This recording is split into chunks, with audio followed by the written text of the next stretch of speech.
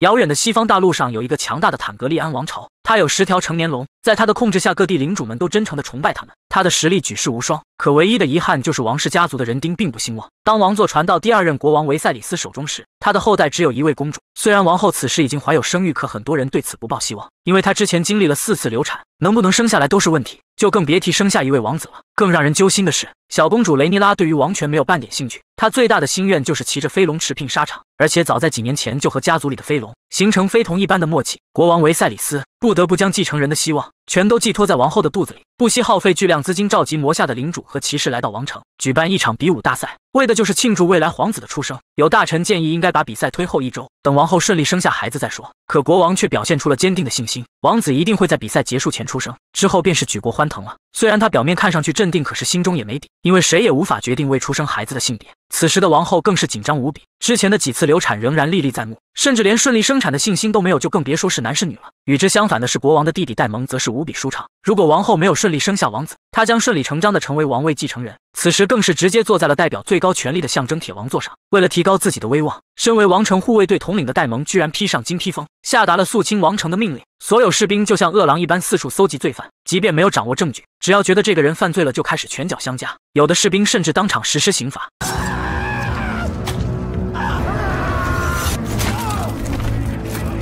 整座王城顿时陷入混乱，惨叫求饶的声音不绝于耳。最后需要两辆马车才能拖走被肢解的尸块。这件事立刻引起群臣的震怒。即使戴蒙身为亲王，也不能如此肆意妄为，尤其是身上的金披风，简直就是对王权的亵渎。可戴蒙解释说，只有让所有居民了解律法的残酷，他们才不会作奸犯科，确保王城在比赛期间的安定祥和。大部分臣子都对这种说法嗤之以鼻，唯独国王站出来帮弟弟说话。这样做也许能够促进法律与秩序，但希望下次不要用这么残暴的手段。一场针对亲王的审判大会就这样不了了之。其实，在场的众人都不想节外生枝，因为一场重要的盛会即将开始。这是当时世界上规模最大的比武比赛，王国之下上千名领主以及骑士纷纷报名参加。比赛场地坐满了前来观摩的观众，所有王室族人也都亲临现场。随着国王的一声令下，勇敢的骑士来到比赛场地，以最原始、最残酷的方式给观众带来一场视觉盛宴。他们个个都骁勇善战，并且尽所能的展现自己，因为这场规模超前的比赛将给胜利者带来巨大荣耀。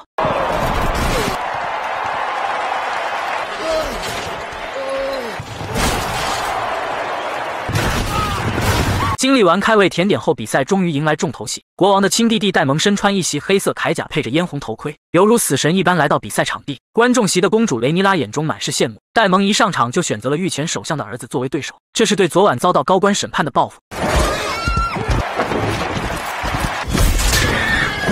果不其然，来回冲锋还不到两回合，亲王雷蒙就使用阴招绊倒了对方的马腿。巨大的冲击力瞬间就让对手失去知觉。比赛结束后，他还不忘向公主讨要象征荣誉和好运的花环。就在这时，有人在国王耳边低语几句，随后他便快速来到王室的产房。原来王后此刻正在分娩，嘴中时不时发出凄惨的叫声。医生连忙上来汇报，婴儿胎位不正，无法顺利生产。国王立刻上前安慰，希望坚毅的王后能够挺过这一关。可随着时间的推移，王后渐渐失去知觉，这是再次难产的先兆。医生连忙把国王叫到一旁，眼下这种情况只能让国王做出抉择。医生有把握用剖腹手术取出孩子，不过王后很有可能失血过多死亡。到底是保大还是保小，这是一个无比艰难的抉择。可国王根本没得选，外面数万臣民都在等着王子的降世。不知为何，王后此时又恢复了一些神智。国王连忙安慰，一切都会过去的。可怜的王后信以为真，脸上的笑容无比轻松。可很快就上来几名护士，紧紧按住王后四肢。医生则亮出了明晃晃的手术刀。随后，产房中再次传来凄惨无比的叫声。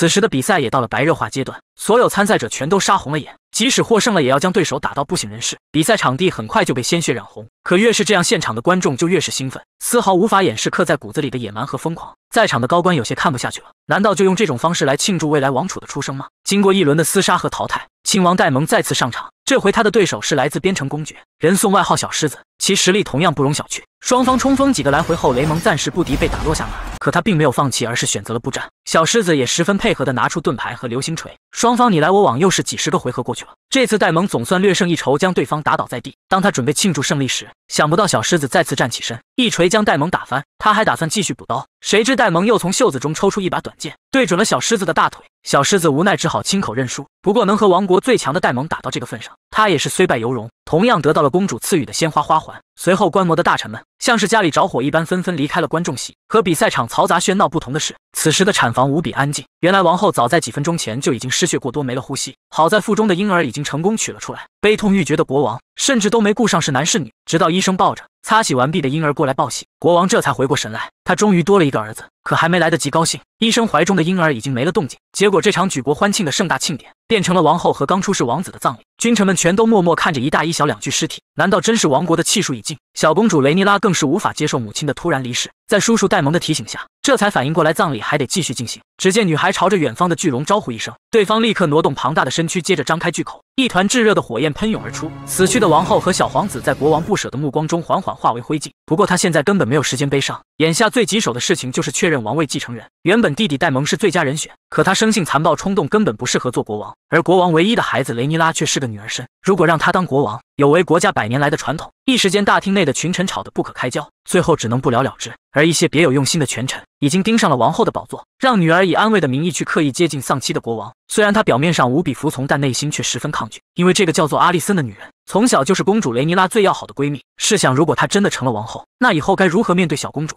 相比阴谋算尽的众人，亲王戴蒙此时算是最为轻松的了。自觉王座继承人已经非他莫属，居然带着手下跑去喝花酒庆祝。谁知这个消息当天晚上就传开了，老国王顿时勃然大怒，自己刚刚失去亲人，弟弟不来安慰就算了，居然还去开派对庆祝。如果将国家交给弟弟打理，家族十有八九会出现一个昏庸无度的暴君。于是国王忍痛做出一个决定，剥夺戴蒙继承人候选者的资格。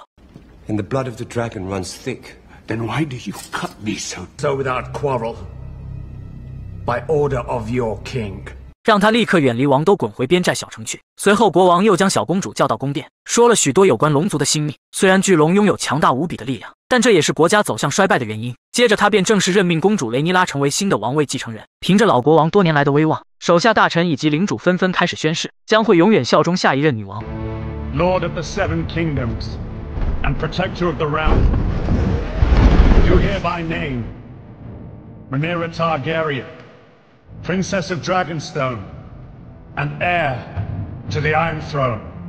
尽管雷尼拉十分不想继承王位，但延续家族王位的使命让他不得不咬牙接受。当继任仪式举行完毕，国王将家族每代相传的秘密告诉了女儿。这是一个有关《冰与火之歌》的传说。家族最伟大的长辈曾经预见了世界末日，这一切将从遥远的北方开始。如果发现苗头不对，历任国王必须带领全国群起反抗。而此时的亲王戴蒙已经打包好行李，离开王都前，他再次来到巨龙身边，贪婪感受着体内蕴含的庞大力量。以这位亲王的性格，他真会如此甘心的让出唾手可得的铁王座吗？在石阶列岛附近，有这样一群无恶不作的海盗，他们以活人喂养螃蟹，掠夺了许多来往的商船。负责海上运输的大臣克里斯愤怒至极，家族中已经损失四艘商船，如果再任由魏谢人狂下去，肯定会影响整个维斯特洛大陆的海上航道。而国王和首相依旧选择冷处理，因为魏谢人属于三城同盟组织，王国绝不会轻易和他们开战。这可是历届国王的祖训。至于克里斯家族的损失，国家会想办法补偿。谁知后者听完后更加愤怒了。这种软弱的做法只会让魏谢人越来越猖狂。毕竟除了他们国王，连自己的弟弟都管不住。原来此时距离上次的比武大赛已经过去半年。弟弟戴蒙被剥夺王位继承人的身份后，一气之下骑着巨龙，占据了原本属于公主雷尼拉的领地龙石岛，拥兵自重。这几瓶就等同于叛逆，国王的威严再次受到打击。此时的继承人雷尼拉看不下去了，干脆派遣龙骑士去解决他们吧，让世人再次感受龙族的强大和威严。可国王却觉得这个办法太过冒险，因为现在能够拿出手的龙骑士寥寥无几，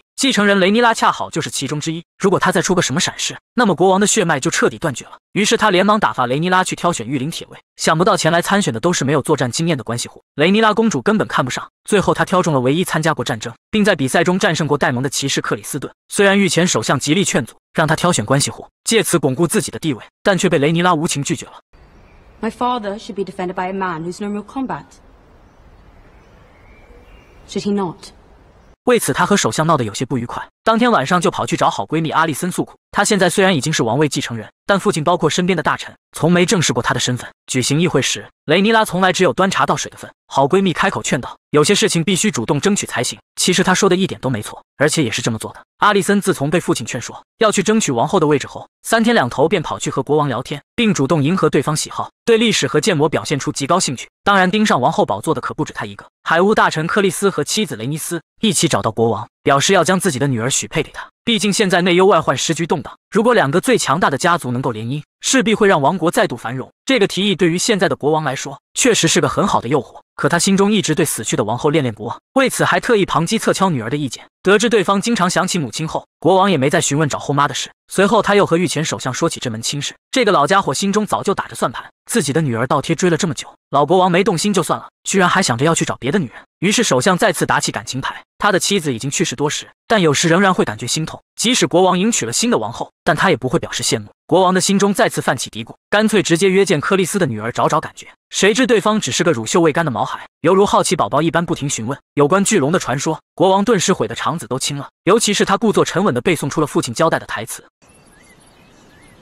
：“That I wouldn't have to bed you until I turn fourteen。”国王因此彻底打消了和克里斯家族联姻的想法。可对方显然没有就此放弃。克里斯的妻子无冕女王雷尼斯特意找到公主雷尼拉，劝她放弃继承王位的想法，因为国王终究会迎娶新王后，生出新的男性继承人，到时候女王便会被架空和替换。虽然雷尼拉表示自己会反转一切，可雷尼斯却一语惊醒梦中人。你觉得那些大臣会让一个倒酒的公主成为新的国王吗？他们宁愿将王国付之一炬。而且雷尼斯之所以称为无冕女王，就是因为她也参与过王权之争，最后因为种种阻力败下阵来。此时的国王还在因为王后的事情头疼不已，并将心中的烦恼吐露给阿里森。这个女人跟她的首相父亲简直一模一样，心中明明想上位，手都快抠出血了，却依然故作镇定，顺势送出国王最喜欢的巨龙模型，这让后者触动很大。既然迟早都要迎娶王后，为什么不挑一个自己中意的？就在这时，属下前来汇报，国王的弟弟戴蒙偷走了一颗龙蛋，这可是动摇根基的大事。好在对方留下的书信表明了态度。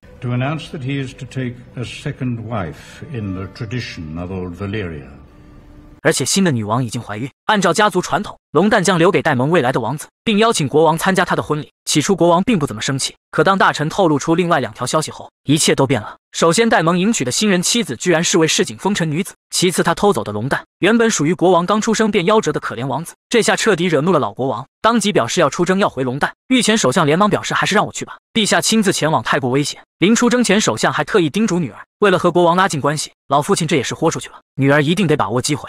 没过多久，首相奥托便带着精挑细选的骑士抵达戴蒙所在的巨龙岛。这里只有一条狭小的过道能够通行，绝对是个易守难攻的好地方。可首相根本没将他放在眼里，一上来就趾高气扬地宣布要让戴蒙交还龙蛋，并永远放逐风尘女王后，戴蒙却玩世不恭地表示，爱可以超过所有法规和传统，胡扯一大堆，提都没提龙蛋的事。首相感觉自己受到侮辱，做事就要发作。谁知对方一点都不慌，因为他有骄傲的底气和本钱。就在男人拔出佩剑的一瞬间，一声亢奋的龙吟响彻天际。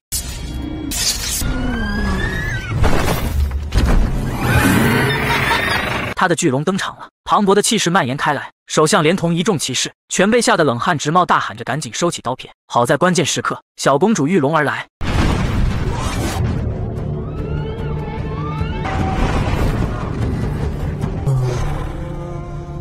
气势比起戴蒙的巨龙丝毫不落下风，这下双方实力再次对等。不过小公主比起首相来更加有恃无恐，要么双方展开大战，要么就交还龙蛋。随后就摆出一副悉听尊便的模样。戴蒙沉默良久，最终选择妥协，交还了龙蛋，这也是他的无奈之举。此时并没有和王国交战的实力，而且还师出无名。如果想要正式决裂，他需要一个一呼百应的契机。可戴蒙万万没想到机会来得这么快。此时的国王已经认定了新王后的人选，不过谨慎起见，他再次询问法务大臣的意见。如果拒绝海务大臣克里斯的联姻请求会怎样？对方十分坦诚地表示，这样非但会失去一个增强实力的机会，还有可能增加一个潜在的威胁。因为克里斯家族的势力世人皆知，国王从小到大最反感受人威胁，因此心中更加抵触了。就在这时，国王得知了公主擅自骑龙、干预交涉的事情，心中感觉无比窝火。如果他死在那里，那么国家的唯一继承人就没了。可雷尼拉听进了闺蜜的建议，觉得这是自己的主动出击，并没有做错什么。而且她还深深感受到，这个继承人的身份简直就是套在身上的枷锁。于是第一次主动提出，父亲应该迎娶一个新的王后了。这让老国王十分欣慰。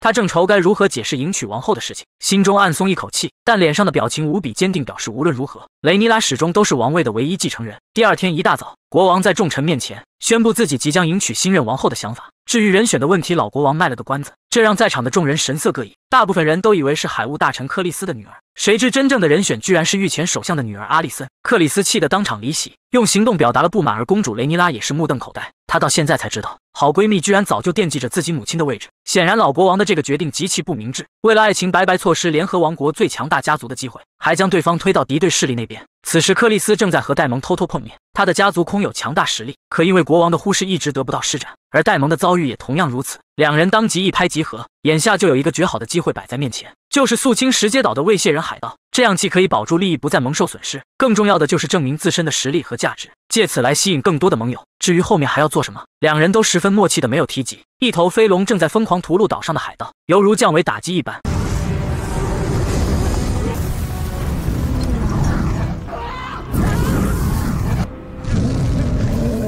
海盗们只有抱头鼠窜的份，可他们也不傻，纷纷躲进事先准备好的山洞，娴熟的拉弓还击。这下巨龙反倒成了活靶子，龙背上的亲王戴蒙只能不甘的飞走撤退。这不知道是第几次围剿失败。海运大臣克里斯面如死灰，他顶着巨大压力和王国叛徒戴蒙联手，私自派兵围剿石阶列岛的未卸人海盗。谁知对方比想象中强大的多，即使有龙骑士戴蒙加入，也迟迟无法取得胜利，反而陷入进退两难的境地，甚至还有覆灭的危险。石阶列岛失利的战报很快传到国王的面前。可对方却丝毫不为所动，因为今天是个特殊的日子，国王新出生的王子将迎来第二个命名日。距离他迎娶首相的女儿阿丽森已经过去整整三年。新王后不仅成功给他生下一个儿子，而且肚子里又怀了一个。老国王心中高兴，决定大肆庆祝一番，带领众臣前往皇家御林狩猎。要说此时最憋屈的就是公主雷尼拉了，多年的闺蜜变成后妈不说，随着新王子的出世，她王位继承人的身份估计也保不住了。平常对王后阿丽森一直没有好脸色，连带着对国王也疏远许多。只不过王命不可违，他不得不耐着性子和家人一同前往御林狩猎场。当国王和王后带着小王子走出马车时，迎接他们的是无数臣民的欢呼声。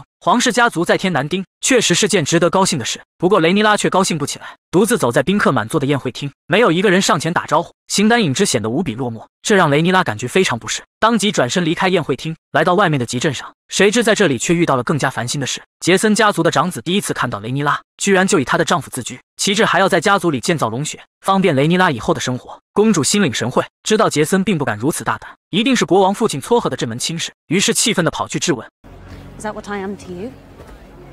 A prize to proffer about to the great houses?” 国王十分大方的承认，雷尼拉已经成年，是时候结婚生子了。雷尼拉十分反感父亲的擅自指婚，这让他觉得自己就是拉拢势力的商品。好在一旁的首相及时开口，打断了父女俩的争吵。刚刚护卫在玉林中发现一头雄鹿的踪迹，这可是给小王子命名的好兆头。因为在巨龙出现之前，白鹿就一直是王权的象征。首相在旁不停嚼舌头，小王子果然是天命所归。根据现场的足迹和粪便，护卫推测追上雄鹿还需要三个小时。国王只好再次回到宴会厅等待，可他连一刻安静的时光都无法独享。御前首相知道国王在为女儿的婚事烦恼，于是出出了个溃主意，那就是将公主许配给刚刚两岁的小王子，也就是他自己的外孙。这样既能阻挡前来提亲的家族，而且还肥水不流外人田。国王听完后，真想扇他几个耳光。当首相识趣的离开后，国王看着满大厅的臣子，忽然生出一种悲凉的感觉。他能掌控在座所有人的生死，却偏偏无法左右女儿的命运。这时候，总算有位臣子提供了一个不错的建议，可以将公主许配给海运大臣克里斯家族的长子，这样不但能够弥补之前的裂痕，还能让两大家族强强联手。这个提议总算让国主动了心，可他却忘记了，屈强的女儿怎么会轻易就范？此时的公主心中正憋着火气，骑着马快速朝着森林中冲去。新上任的御林铁卫克里斯顿见状，生怕她有什么闪失，连忙骑马追了上去。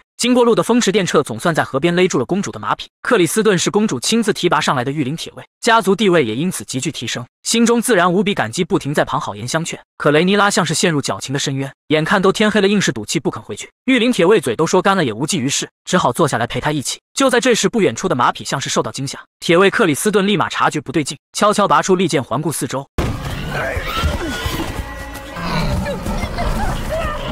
好在关键时刻，克里斯顿上前一剑刺穿了野猪的脑袋，而公主则趁机疯狂补刀，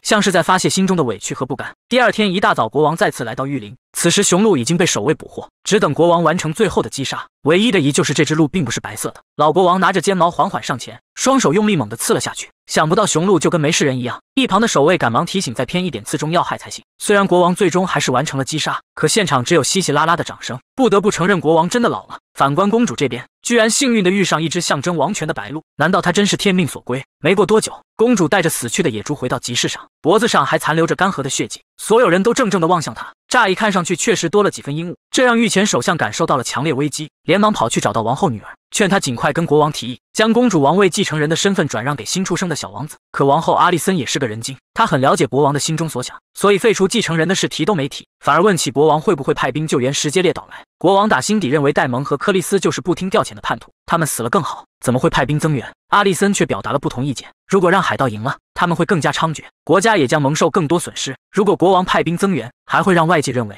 国王是一个不计前嫌、重视兄弟感情的人。这些话让国王豁然开朗，转眼便写了一封即将派遣增援的书信转交给戴蒙。而公主雷妮拉经过昨晚的事情后，好像也成长不少，居然直接找到国王，将心中的不满全都表达出来，认为国王将要废掉自己继承人的身份，所以才会把她嫁出去换取更多利益。老国王叹口气，没想到女儿的政治觉悟这么低，他郑重其事的以死去的爱妻起誓，绝对不会废掉公主继承人的身份。之所以如此急迫的想把她嫁出去，其实是希望能帮公主拉拢一个强有力的支持者。不得不说，雷妮拉和王后阿丽森在政治上的表现简真天差地别。另一边的石阶列岛海域，这群围剿海盗的士兵们已经到了山穷水尽的地步，因为无论怎样炮轰海盗，硬是全程龟缩在山洞中，一大群将士只能干着急。眼看带来的粮食即将耗尽，估计连三天都撑不下去了。不少将领将失败的原因归咎在戴蒙身上，没出兵时把牛皮吹上天，结果上了战场就跟软脚虾一般。其实戴蒙也是有苦说不出，总不能让巨龙缩小身子钻进山洞里和敌人火拼吧？就在这时，国王的亲笔书信恰好送来了。对方说已经派遣了四艘战舰和两千士兵前来石阶列岛，请务必让弟弟戴蒙保住性命，等到援军的到来。戴蒙看完书信后，并未感激，反而感到莫名的耻辱。他之所以前来参战，就是为了让世人知道自己的实力，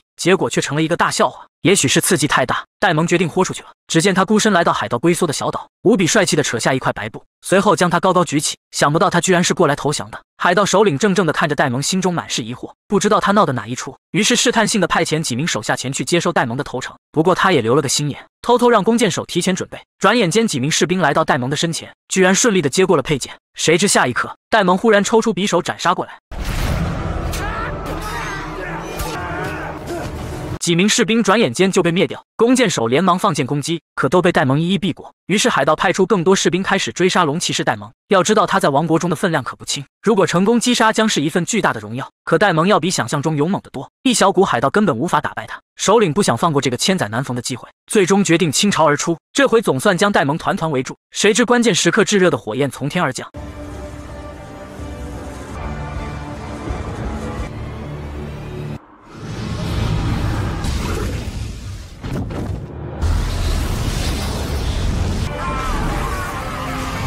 一名龙骑士忽然现身，原来这才是戴蒙甘愿以身犯险的倚仗。部队中不止他一个龙骑士，随后海蛇柯利斯也带着大部队冲杀而来，和这好不容易现身的海盗战成一团。而戴蒙则趁机冲向山洞，朝着海盗首领奔去。在如此开阔的地带，飞龙才能发挥最大实力，也是战场上的真正主宰。没过多久，海盗开始出现溃败，而戴蒙则拖着海盗首领的半截身子走出山洞。这群难缠的未卸人海盗终于覆灭了。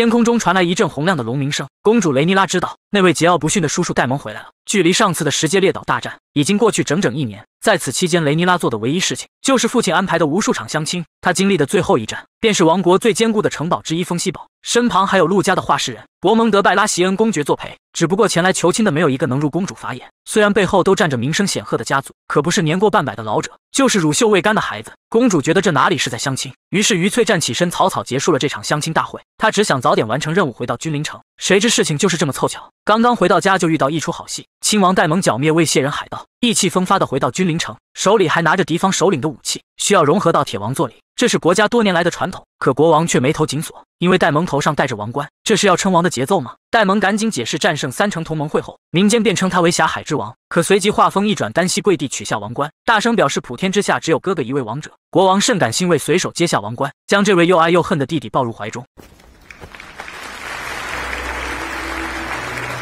现场传来一片掌声，随后兄弟俩来到后院赴宴，借此增进兄弟感情。只有雷妮拉因为私自结束相亲之旅，害怕父王责怪，独自坐到了无人的角落。王后阿丽森见状，连忙上前安慰。经过一年时间的相处，这对决裂的闺蜜似乎又缓和了不少。雷妮拉随口说了句自己迟早会成为生育继承人的工具，可说者无意，听者有心。王后阿丽森感到一阵心疼，她嫁给国王何尝不是为了继承人的归属？雷妮拉似乎也察觉到自己说错话了，连忙出声安慰，眼神中满是愧疚。从表面上看，他俩的感情的确增进了许多。当宴会结束，雷妮拉单独找到叔叔戴蒙，询问他这次回来的真正目的。对方只是笑而不语，摸了摸雷妮拉脖子上的项链，这可是自己亲手送给她的。随后便没头没尾的来了句：“他回来只是想体会家庭的温暖。”一言一行中处处散发着桀骜的洒脱，这些都是雷妮拉无比向往却又得不到的东西，眼神中尽是艳羡之色。随后两人又聊到婚姻问题，戴蒙说家族的婚姻需要服从政治安排，可结婚之后反倒更加自由。雷妮拉从小接受正统教育，生平第一次听到这样的观点，瞬间有种豁然开朗的感觉。结束完这场意义非凡的对话，雷尼拉又赶到下一场。国王正带着重臣谈论养蛇为患的话题。这次觐见戴蒙虽然回来了，可并没有看到海蛇克利斯的身影，说明对方还在为几年前国王拒绝联姻的事情生气。而且首相奥托还听说海蛇正准备将女儿兰纳尔许配给布拉佛斯的海王之子。布拉佛斯可是个赫赫有名的存在，全游中的两个重要元素——无面者以及铁金库，都是出自这里。奥托的潜在意思非常明显，本就实力强大的海蛇，如果和自由贸易联邦结盟，势必会对铁王座形成威胁。除非咱们能更快和海蛇联姻才行。一旁的雷尼拉忽然感受到数道期盼的目光落在自己身上，他的心中无比清楚，自己沦为政治工具的日子只怕是越来越近了。回到房间后，刚准备休息，雷尼拉发现桌上被人放了两样东西：一件乔装用的衣服和一张地图。原来这些都是戴蒙亲自准备的，他要带着侄女体验世上真正的快乐。随后，两人拉着小手，开启了君临城的夜生活之旅。雷尼拉压抑许久的内心得到彻底释放，因为市井的街道中有着很强的包容性，无论达官贵人还是鸡鸣狗盗，都能得到开心和满足。可他们唯独有一件事情无法容忍，那就是由女人掌管的王国。loved by all of her people. But would she make a powerful queen? Or would she be feeble? For Egon the Babe Prince might long for acclaim. He has two things Rhaenyra cannot. A conqueror's name and a cock. 雷尼拉看完后，心中很不是滋味。也许这才是戴蒙的真正目的。可他的计划并未就此终结，随后又带着雷尼拉来到城里最大的风月场所。小公主简直打开了新世界大门，心中对戴蒙的爱慕之情也彻底迸发。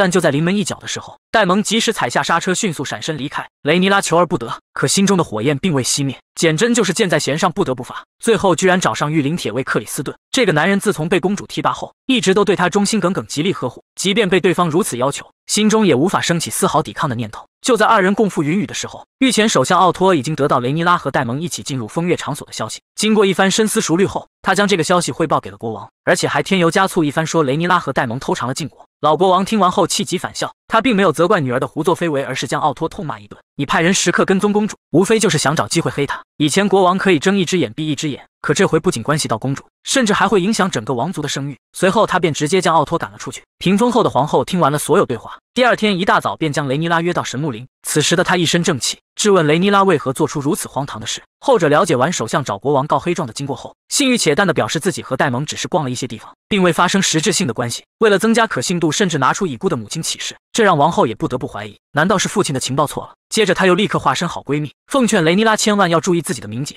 否则将会给自己甚至家族带来巨大影响。雷尼拉这边算是解释清楚了，可戴蒙这边却出现了意外。国王起床后做的第一件事，就是把还未醒酒的戴蒙抓了过来，质问他昨晚到底干了什么。谁知戴蒙居然承认和雷尼拉发生关系了，这让老国王瞬间暴跳如雷。谁知戴蒙接着补充道：“既然公主的名声已经被玷污，何不将错就错，将公主许配给自己为妻？”老国王虽然在气头上，可也明白戴蒙的用意，弟弟哪里是要自己的女儿。分明是想要自己头上的王冠，随即下令将他逐回谷底。兄弟俩永不相见。注意看，国王当时用的匕首，正是全游中二丫用的那把。接着，王后赶紧跑过来劝慰：“咱们应该相信雷尼拉的话，而非戴蒙的。他这么做，无非就是想激怒国王。”字里话间满是挑拨之意。可老国王却觉得什么事情都有可能发生，毕竟雷尼拉和戴蒙都含有龙之血脉，做出一些混乱无序的事情并不稀奇。随后，国王又将雷尼拉召唤过来，跟他讲述了有关匕首的起源，并再次叮嘱千万不要忘记《冰与火之歌》的使命，不要被世间的欲望蒙蔽双眼。雷尼拉还想解释一下跟戴蒙的误会，可国王却满脸的不以为意。眼下最重要的不是对错，而是如何将事件的影响降到最低。唯一的解决办法就是让雷尼拉赶紧出嫁，而夫婿也帮他选好了，就是海蛇所在家族的兰尼诺瓦列利安爵士。他们拥有海上最强舰队，一旦联姻，无疑会让王国的实力再上一个台阶。公主雷尼拉知道这次自己无论如何都无法拒绝，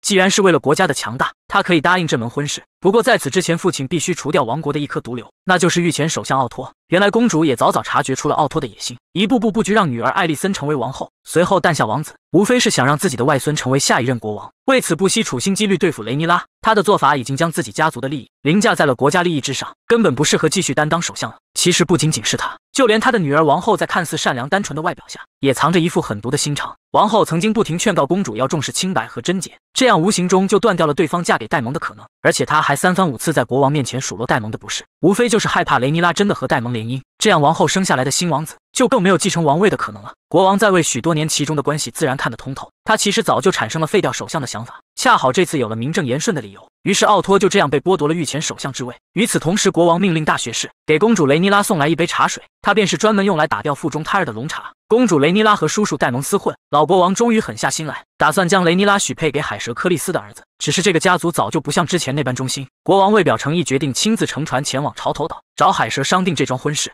这一路上他是吃尽了苦头，风尘仆仆抵达后，克里斯居然摆起了架子，并未亲自出门迎接，只是让女儿出来做做样子。国王强压心头怒火，带着新上任的御前首相莱昂诺径直来到会客大厅。海蛇克里斯见到众人进来，这才慢慢从座椅上站起身。国王一刻都不想在这里多待，正准备谈起婚姻的事，克里斯立马抢先开口。有消息称，戴蒙的原配夫人雷亚前两天因为骑马意外摔死了。可他是远近闻名的骑马和猎捕高手，显然他的死另有隐情。其实克里斯猜的没有错，雷亚夫人正是被戴蒙亲手害死的。但怎么说，戴蒙也是国王的亲弟弟。克里斯是在借助这件事嘲讽和王室联姻的悲惨下场。国王的脸上都要尬出水了，只好强行终止这个话题，硬生生说出要将女儿雷尼拉嫁给克里斯二子兰尼诺的想法。克里斯其实早就猜到国王的来意，表示两家联姻自然没问题，但是在此之前要确认雷尼拉将来是否能够继承王位。国王无比严肃地表示肯定，而且公主和兰尼诺的第一个孩子，无论男女都将继承下一任铁王座。但克里斯要的远不止这个，再次开口询问，那么孩子应该跟谁姓？这可触及了国王的底线。铁王座必须世代传承在坦格利安王族，不可能在雷尼拉手上就断代了。克里斯则一言不发，显然是用沉默来表达不赞同。国王只好退让一步。雷尼拉的第一个孩子可以随父姓瓦列利安，但是登上铁王座后，必须改回母亲的皇族姓氏坦格利安，这算是不得已的折中方案了。海蛇克里斯这才松口答应。国王见事情谈成，当即表示要返回君临城。而此时的雷尼拉正和未来夫君兰尼诺在海边散步，他心中一直记得叔叔戴蒙的教诲：婚姻是为政治服务的，但结婚后就自由了。雷尼拉居然主动提出，咱俩结婚都是家族的安排，无法违背。可结婚之后就各过各的，互不干涉。谁知这个提议立马得到兰尼诺的赞同。原来他也不是什么好鸟，根本就对女人不感兴趣，这样算是正中下怀了。而雷尼拉的情况也好不到哪里去，即使要奉命结婚了，他的心中仍然装着别人。而眼前的御林铁卫克里斯顿就是其中之一。面对公主三番五次的示好，克里斯顿早就动了情，甚至提出想要带雷尼拉私奔，去没人认识他们的地方自由自在生活。这些虽然都是雷尼拉极力追求的，可他很快冷静下来。如果自己就这么跑了，将要背上世人的骂名。嫁给王公贵族才是他最终的宿命。随后，雷尼拉有些小激动地告诉克里斯顿，他和未来夫君已经商量好，结婚之后也能和别人私会。克里斯顿听完后，顿时火冒三丈，他才不想从堂堂的御林铁卫变成见不得光的小奶狗。当一行人好不容易回到君临城，国王因为连日来的劳顿，刚下马车就晕倒在地。远在城楼上看到这一幕的王后却始终无动于衷。原来她现在的日子也相当不好过。父亲奥托被剥夺了御前首相之职，即便在离开前，他的心中仍然对女儿怨念滔天。因为阿丽森曾经告诉国王，公主雷尼拉是清白的，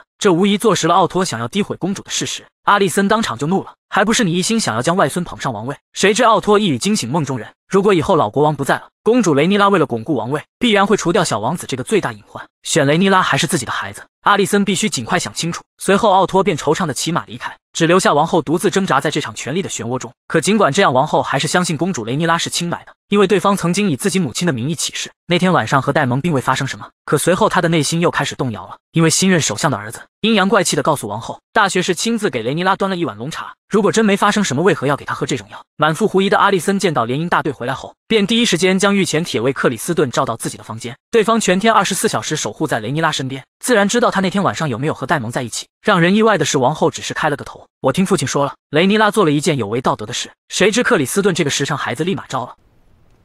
I have committed it. 说那天晚上是他受到了公主的引诱，要杀要剐，悉听尊便。王后阿丽森听完后，心中泛起滔天巨浪，他还是错怪父亲了。雷尼拉虽然不是和戴蒙厮混，但和自己的侍卫在一起，罪名同样不小。可王后很快恢复平静，也没有怪罪克里斯顿的意思，而是选择让他先行离开。可怜的国王好不容易清醒，询问的第一句话便是：王后怎么还没过来？新任的御前首相守在身边，说他正在忙别的事情。此时的国王看上去非常虚弱，像是预感到自己的大限将至，鬼使神差的询问首相，自己死后史书上会如何评价他的一生。毕竟自己没有上过战场，也没扩张过一寸土地。说着说着，就虚弱的闭上了眼睛。画面一转，两条飞龙急速在空中飞翔，海面上也有无数大船都在朝着君临城驶去。显然，王国发生大事了。好在并不是国王驾崩，而是王位继承人雷尼拉和瓦列利安家族的继承人兰尼诺即将举办婚礼。对于这两家的强强联合，前来恭贺的家族臣子数不胜数。让国王有些尴尬的是，王后此时并未到场。当所有宾客差不多到齐后，海蛇克利斯终于带着家人登场。国王率领众人起身迎接雷尼拉，立马上前将自己的夫君迎上台。就当大家准备落座时，亲王戴蒙居然不请自来，现场顿时陷入死一般的寂静。国王更是怒火中烧，之前将他赶回谷地去，就是不想有人再提起他和雷尼拉的绯闻。可国王也不好当场翻脸，只好强忍怒意安排弟弟坐下，接着便站起身开始给婚宴致辞。可他还没说上两句话，一袭绿色连衣裙的王后满脸冰霜的走了进来，国王不得不终止发言。等王后走上台落座后，国王赶紧接着发言。接下来将举办七天的比武大会和盛宴，等一切结束就为公主举行王室婚礼。话音刚落，雷尼拉便拉着未来夫君来到会场中央，在众人的瞩目下开始跳起热舞来。兰尼诺的老相好眼睛中都快喷出火了，不过他很快发现御前铁卫克里斯顿的眼神和自己很相似，立刻猜到他就是公主的老相好。当两人跳完一支舞后，所有人纷纷上台加入其中，整个宴会厅顿时热闹无比，而一些别有用心的人也开始活络起来。首先是戴蒙亡妻的堂哥，直接上来质问是不是戴蒙害死了妹妹。戴蒙丝毫不将对方放在眼中，甚至放下狂言，等婚礼结束后将去妻子的老家浮士城接收遗产，因为他的妻子正是浮士城的继承人。一旁的国王看着这个猖狂的弟弟，心中连连叹气。谁知接下来更让他气愤的事情发生了，戴蒙居然径直走到雷尼拉身旁，打趣他将步入无聊的婚姻坟墓，而雷尼拉就像是斗气的小女生，你有本事就从国王的御林铁卫中杀出一条血路，带我去龙石岛娶我为妻。远处的国王并不能听到他们的谈话。可二人亲密的动作还是让他十分不爽，而兰尼诺的老相好也不甘的来到克里斯顿身边，贱兮兮的表示：“咱俩因为这场婚姻也产生了干丝万缕的关系，以后大家继续和各自的心上人在一起，但必须保守这个秘密。”克里斯顿表面一言未发，心中却无比窝火，他想要的是和公主长相厮守，并不是这种畸形的爱恋。忽然，会场中传来一声凄厉的惨叫声。所有宾客乱成一团，纷纷朝着四周退让，露出中间的空地。原来是克里斯顿对兰尼诺的老相好动手了。国王看着眼前混乱的场面，忍不住喷出几口老血。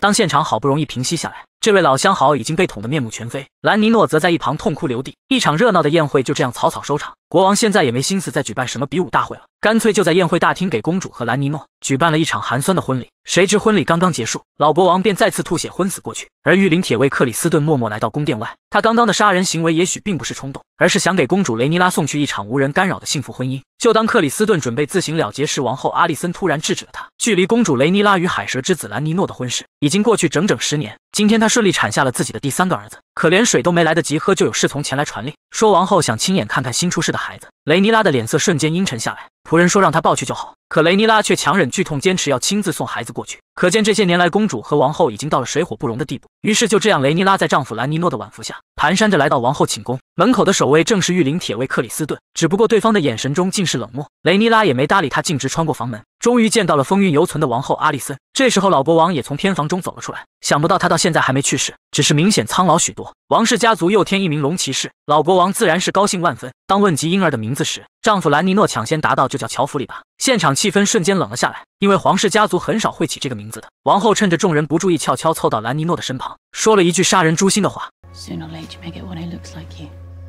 这就是雷尼拉坚持亲自送孩子过来的原因。原来在王后的眼中，这个孩子的父亲根本不是兰尼诺。至于到底是不是他们两口子，心知肚明。公主的专属房间内，御前首相的儿子王城守备军司令哈尔温正在陪公主的另外两个孩子玩耍。让人大跌眼镜的是，两个孩子名义上的父亲对此见怪不怪，而且还顺手将刚出生的三儿子送入哈尔温的怀中，接着又无比识趣的离开房间。不用想也知道，这个守备军司令才是雷尼拉的爱人，同时也是三个孩子的父亲。这从他们的发色上也能看出倪端。画面一转，一只幼小的飞龙从漆黑的龙洞中走出来，这是雷尼拉大儿子杰卡里斯的坐骑。在驯龙师的教导下，他已经能够初步掌控这头幼龙了。只见杰卡里斯一声令下，飞龙大口一张，炙热的火焰喷向不远处的山羊。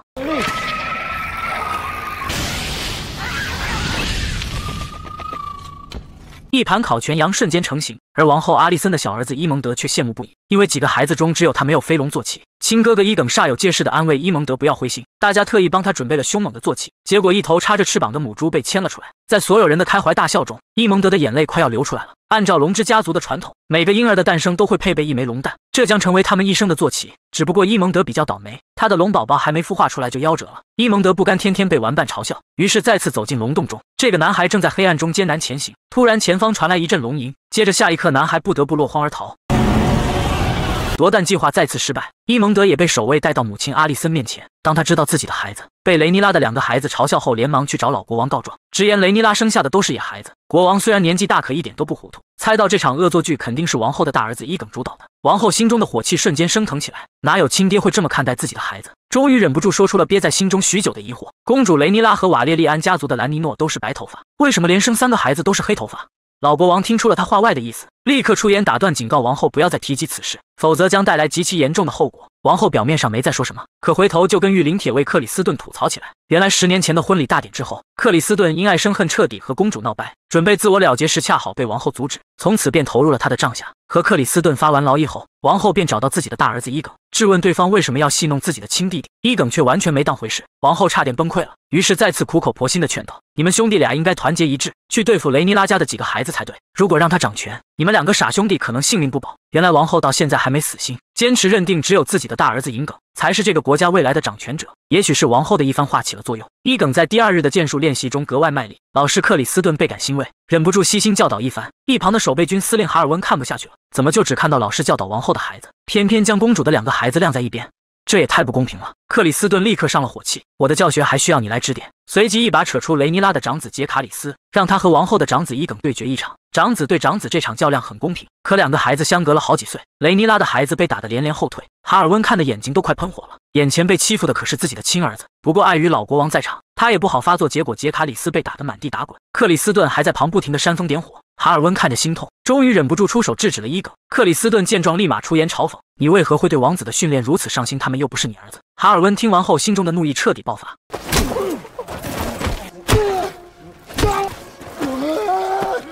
结果他因为回打御林铁卫被侍卫给抓了起来。公主雷尼拉原本想去偷偷看望，却无意中听见哈尔温和他父亲的对话。后者身为御前首相，什么问题都看得无比透彻，觉得哈尔温之所以会这样，就是因为他和公主走得太近了，俩人不清不楚的关系，连瞎子都能看出来。老国王之所以不戳破，只是他为了女儿故意装糊涂罢了。一通对话下来，也让自诩聪明的公主雷尼拉彻底醒悟，原来她荒唐的婚姻生活早被许多人看穿。如果再继续下去，她的继承人身份很有可能不保。就在公主感到深深无助时，名义上的丈夫兰尼诺再次带来坏消息，因为三城同盟会的卷土重来，石阶列岛再起战事。天生好战的兰尼诺决定前往石阶列岛迎战。当然，还有另外一个重要原因，听说那里有个人高马大的将军，而且还穿女装。兰尼诺一定要去一清方泽。雷尼拉听完后立马怒了：这十年来，你和任何人在一起，我都不阻拦。现在到了风雨飘摇的时刻，你可不能临阵脱逃。转眼来到御前会议上，雷尼拉明显感觉气氛有些古怪。王后处处搞针对不说，一些群臣也不再给她帮腔。公主知道自己必须做些什么才行，于是当着众人的面向王后道歉，表示都是因为自家的孩子太顽劣，才带来了两家的冲突。她愿意给王后的小儿子额外提供一枚龙蛋。接着，公主又提议道：“大儿子杰卡里斯将继承铁王座，希望他能和王后的女儿定下婚约。”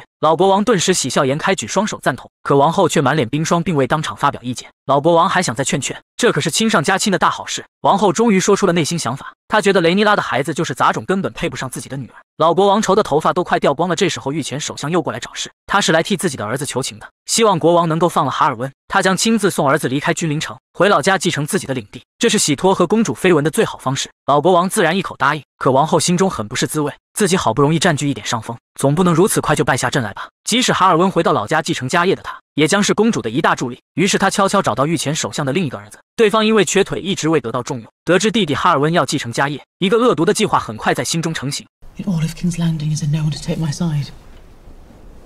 只见他独自来到关押死囚的监狱，以救免刑罚为条件，让其中三人去做一件事情。哈尔温回到自家城堡的当天夜里，房间中突然燃起大火，而房门却被人牢牢固定死。大火整整持续了一夜，可怜的哈尔温被烧成了焦炭。而公主雷尼拉此时也预感到更大的暴风雨即将来临，最好的选择就是离开宫廷。于是她带着一大家子来到了自己的领地龙石岛。国王的弟弟戴蒙自从杀了原配后，再次娶了海蛇克利斯的女儿兰纳尔为妻。两个龙骑士多年来游遍王国每个角落，期间还生下一名女儿。这回他们在潘托斯落脚时，妻子兰纳尔分娩第二个孩子时遇到困难，医生询问要不要包覆取子，戴蒙却没有答应。这和老国王曾经的选择截然相反。可兰纳尔觉得无法生产是个莫大的耻辱，居然命令自己的飞龙喷出火焰，直接将自己吞噬。他是克里斯为数不多的孩子之一，于是海蛇家族在潮头岛给兰纳尔举办了隆重的葬礼。所有皇室成员不远千里前来吊唁，公主的丈夫兰尼诺失去了唯一的妹妹，简直痛到无法呼吸。这对兄妹的感情从小就十分要好。反观王子戴蒙这边，听着司仪的悼念，居然忍不住笑出声来。毕竟他和兰纳尔之间只是一场政治婚姻，并未产生多少真感情。当葬礼进入尾声，兰纳尔的使馆落入深不见底的海水中，他的坐骑瓦格哈尔也成了无主之物，一直盘旋在空中，久久不肯离去。这里看上去只是个追悼会现场，却聚集了王国中的所有风云人物。一场无形的角逐也在悄悄发生，因为城防司令哈尔温和他的首相父亲莱昂诺全都死在一场大火中，老国王不得不将前任首相奥托再次请了回来。而策划这场大火的幕后主使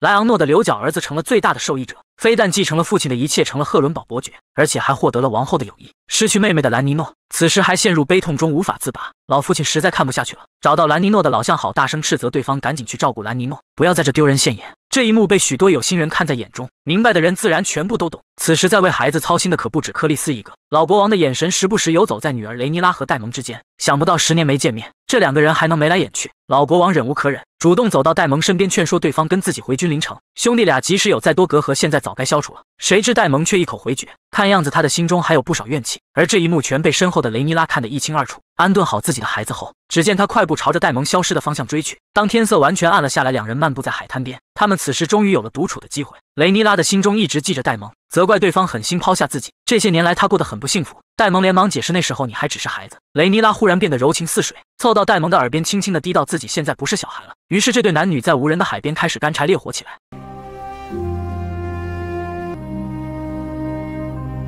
距离他们不远处的沙滩上，王后阿丽森的小儿子伊蒙德正在目光灼热地挺着前方。原来他在白天的时候留意到，刚刚失去主人的飞龙瓦格哈尔就栖息在前方的海岛上。伊蒙德因为一直没有自己的坐骑，经常受到玩伴的嘲笑。这次他决定冒着生命危险去尝试收服飞龙瓦格哈尔。不得不说，这是个疯狂无比的念头。当小男孩靠近这头体型巨大的飞龙时，一阵愤怒的低吼声传来。可他并未就此退缩，飞龙终于忍无可忍，准备发飙。伊蒙德连忙念出龙语，指令飞龙顿时一怔。好在总算安静了下来。伊蒙德自然不会放弃这个机会，顺着绳索好不容易爬上龙背。也许是对方感受到了久违的熟悉感，居然顺着男孩的指令腾空而起。不过飞龙丝毫没有顾及司机的驾驶体验，直上直下，不停在空中盘旋。伊蒙德用尽全力紧紧抓住龙背，也不知道过了多久，巨龙的身躯终于平稳下来。伊蒙德激动到无以复加，想不到自己真的驯服了这头飞龙，忍不住在空中盘旋了好几圈，这才意犹未尽的落下地面。当他喜气洋洋回到城堡时，却被兰纳尔的两个女儿堵在大厅。对方说他抢走了母亲的飞龙，伊蒙德也不辩解，表示这头飞龙以后就是自己的了。两个小女孩顿时怒火中烧，冲上去就要干架。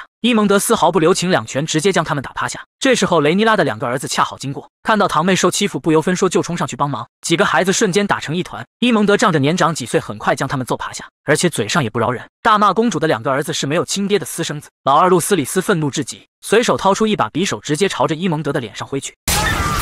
凄惨的叫声很快引起铁座侍卫的注意，可惜他们还是来晚了一步。此时的伊蒙德已经满脸血迹。当医生处理完他的伤口后，遗憾的表示伊蒙德的左眼彻底没救了。王后气得身体发抖，顺手给了大儿子一巴掌，责怪对方没有保护好弟弟。刚刚和戴蒙温存完的雷尼拉此时也赶到现场，两个儿子立刻跑过去告状。王后这边也不甘示弱，结果现场再次乱成一团。老国王一声怒吼，待现场安静下来后，他表示一定会查个水落石出。雷尼拉先发制人，说王后的儿子出言毁唇，自己的儿子在先。老国王很疑惑，到底骂了什么还要动刀子？雷尼拉顿了顿，他说自己的儿子被骂是私生子，作为王位的继承人，这是绝对不能善罢甘休。王后知道国王十分忌讳这种流言蜚语，连忙开口岔开话题。发生这么大的事情，为何雷尼拉的丈夫兰尼诺没有出现？谁知国王丝毫不为所动，就想知道伊蒙德是从哪里听来的流言。小男孩十分机智，明白不能将母亲拉下水，只能将哥哥伊耿推出来背锅。老国王当场就将伊耿臭骂一顿，质问对方到底是从哪听来的。伊耿今天受了不少委屈，于是选择彻底摆烂。他表示这事大家全都心知肚明，根本不需要听谁说。这下老国王也不好继续发难了，只能严肃警告在场众人，以后此事不得再提。王后听了半天，也没等到老国王替自己受伤的儿子讨要说法，她只好主动站出来表示，伊蒙德眼睛被人挖掉，必须血债血偿，让雷尼拉的儿子也废掉一只眼睛。老国王自然不会同意，这不是胡闹吗？咱们都是一家人。王后阿丽森却不管不顾，居然直接下令让自己的守卫克里斯顿动手。可对方哪敢乱来？老国王强忍心中怒火。警告王后不要丧失理智，可王后哪里听得进去，居然抽出国王腰上的匕首，径直朝着伤人凶手冲去。老母亲雷尼拉拼死抵住阿丽森，戴蒙眼疾手快冲上去拦住了想要上前帮忙的护卫。此时的阿丽森几乎陷入癫狂，表示自己永远都在维护王国和家庭。可雷尼拉却随心所欲，肆意妄为。此时的公主早已不是从前的傻白甜，当众反讽阿丽森就是个虚伪的绿茶。王后选择立刻挥刀打断了雷尼拉的出生，两人也因此分开了一段距离。直到看见雷尼拉不停流淌的鲜血，阿丽森这才醒悟过来，自己实在太冲动了，根本不像一个王后该有的样子。这时候伊蒙德站出来劝母亲，他虽然失去了一只眼睛，但却得到一头飞龙，这个买卖很划算。这场由巨龙引发的闹剧，终于迎来了圆满结局。算算得失王后阿丽森这边确实赚大了，唯一需要考虑的就是国王对自己的感受。首相老爹对他表示由衷的赞赏。从前的阿丽森缺少一种勇往直前的霸气，此时终于具备了。现在他唯一要做的就是去和国王道歉，缓和两人的关系。第二天一大早，当雷尼拉的伤口被医生彻底缝合后，丈夫兰尼诺才姗姗来迟。昨天发生那么大事，连个人影都没看到，雷尼拉对他失望万分。可这是家族安排的婚姻，即使自己不幸福，他又能怎么办呢？当天下午，国王和王后启程返航君临城，雷尼拉没有一起回去，而戴蒙也理所当然的留了下来。经历了昨天的事，雷尼拉再次感到孤立无助，于是开口对戴蒙说道：“只要他们两个人结合，就再也没人可以撼动自己的继承人之位了。”戴蒙考虑良久，终于说出心中想法：“只有雷尼拉的老公兰尼诺死了，他们才能名正言顺的结婚。”雷尼拉的脸上毫无波澜，显然已经赞同了戴蒙的说法。转眼间，戴蒙找到兰尼诺的老相好，对方虽然才貌出众，可毕竟是平民出身，一辈子都出不了头。戴蒙承诺会将他送去狭海对面，那里不看出身，只重财富。老相好因此被戴蒙买通，当晚直接找到兰尼诺，向他挥出了手中利刃。当克里斯夫妇赶到现场时，他们的儿子已经变成焦糊，而雷尼拉和戴蒙终于如愿的走在一起。他们按照龙之家族的习俗，正式结为夫妻。放荡不羁的两个人，这回总算是找到真爱了。距离公主雷尼拉和戴蒙结婚已经过去六年时间，整个王国也发生了翻天覆地的变化。首先是瓦列利安家族的掌舵人克里斯，在石阶列岛大战中身负重伤，落入海中，从此变了无音讯，生死不知。他的弟弟瓦蒙德实在等不下去了，提议由自己来接任潮头岛之主，但克里斯的妻子雷尼斯却表示反对。海蛇在世时就已经表态，要立自己的孙子路斯里斯为继承人。瓦蒙德不由大怒，直言路斯里斯就是雷尼拉生下的私生子，根本不是瓦列利安家族的血脉，当即决定要去君临城请王室定夺。另一边，生活在龙石岛的雷尼拉和戴蒙夫妇，虽然多年没有回君临城，但也很快收到了瓦蒙德即将前往君临城的消息。雷尼拉自然不会坐视，自己的儿子路斯里斯潮头岛继承人的身份受到威胁，和戴蒙商量一番后，当场决定动身前往君临城。没过多久，公主雷尼拉再次回到这个生她养她的地方，周围的建筑虽然没有任何变化，可雷尼拉却感觉陌生许多，就连前来迎接的人也是寥寥无几。不过公主并未当场发作，而是和戴蒙一起径直来到老国王的居室。对方最爱的模型已经沾满灰尘，雷尼拉的心中也变得沉重起来，尤其是看见躺在床上犹如干尸般的老国王后，泪水忍不住在眼眶中打转。想不到仅仅几年没见，父亲就病得如此严重。所幸他的头脑还算清醒，戴蒙立马表明来意，希望哥哥能够支持路斯里斯成为潮头岛之主。谁知国王却对此事一无所知，表示所有事务都由王后和首相在打理。雷尼拉连忙打断他们的对话，随即盼妇侍女抱上来两名孩童。原来在这几年中，雷尼拉和戴蒙生下了两个孩子，老国王自然是高兴万分。可很快他就感觉头疼欲裂，大喊着要喝茶。当佣人递上来后，老国王一饮而尽，痛苦的表情也舒展许多。戴蒙接过茶杯，轻轻嗅了嗅，脸色瞬间变得无比难看。此时的会议大厅中，王后阿丽森正坐在主位上，聆听着手下臣子的各项汇报。老国主卧病在床，他便和首相父亲奥托一起打理朝中的各项事务。听说公主雷尼拉来了，王后本想亲自迎接的，可临时却被另外一件事情耽搁了，因为他的大儿子伊耿又侵犯了一名侍女。阿丽森气得青筋直冒，狠狠教训了对方一个耳光，直言自己没有这个儿子。虽然嘴上说的很厉，可事后还得给他擦屁股。阿丽森先是给那位被侵犯的侍女一笔封口费，接着再赐下一杯龙茶汤，避免自己喜提亲孙。当一切处理完毕后，王后这才有空接见雷尼拉公主。只不过对方已经憋了一肚子火气，上来就质问阿丽森为何要给国王服用罂粟花茶。这个东西虽然能够止痛，但也会麻痹服用者的大脑。这明显就是王后想要统领大权的手段。对于这样的指控，阿丽森丝毫不以为意。临走前还不忘提醒二位，明天在朝会上将由他和首相父亲来裁定潮头岛的继承人。这让雷尼拉和戴蒙当场吃瘪。同一时间，雷尼拉的两个儿子在练习场游玩时，恰好遇见王后的二儿子伊蒙德。想不到对方自从收服了兰纳尔的巨龙后，整个人的气质发生了巨大变化，而且还能在武技上打败老师克里斯顿。路斯里斯明显变得心虚起来，他可没忘记对方的一只眼睛就是被自己刺下的。尽管雷尼拉这边处于绝对劣势，可他并不打算就此放弃，第一时间找到海蛇的妻子雷尼斯，想用兰纳尔和戴蒙的女儿作为感情牌，说服对方站到自己这边来。谁知雷尼斯根本不吃这一套，因为他一直在怀疑自己的儿子兰尼诺就是被雷尼拉害死的。雷尼拉只好使出杀手锏，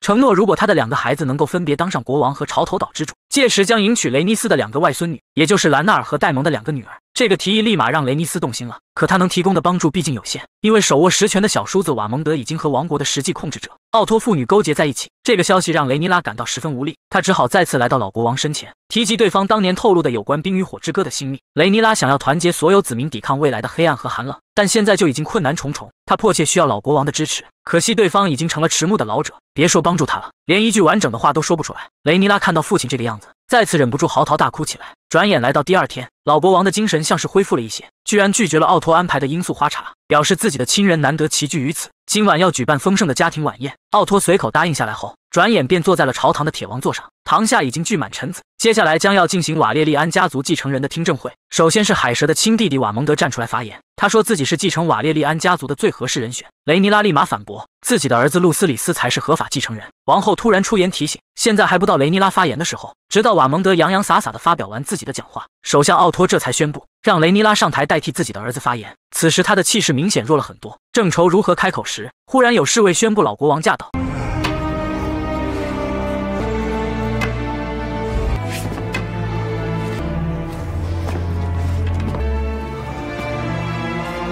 所有人都不可置信地瞪大眼睛，想不到老国王在如此重病的情况下还能现身朝堂。看他步履蹒跚的模样，像是随时都要倒地不起。侍卫想要上前搀扶，却被老国王一把推开。只是铁王座的阶梯对他来说太过崎岖。弟弟戴蒙终于挺身而出，老国王这回没再拒绝，在对方的搀扶下，亦步亦趋，终于坐上了铁王座。老国王虽然许久没有露面，但是王者的余威尚存，当即表示潮头岛已经定好的继承人，为何还要拿出来讨论？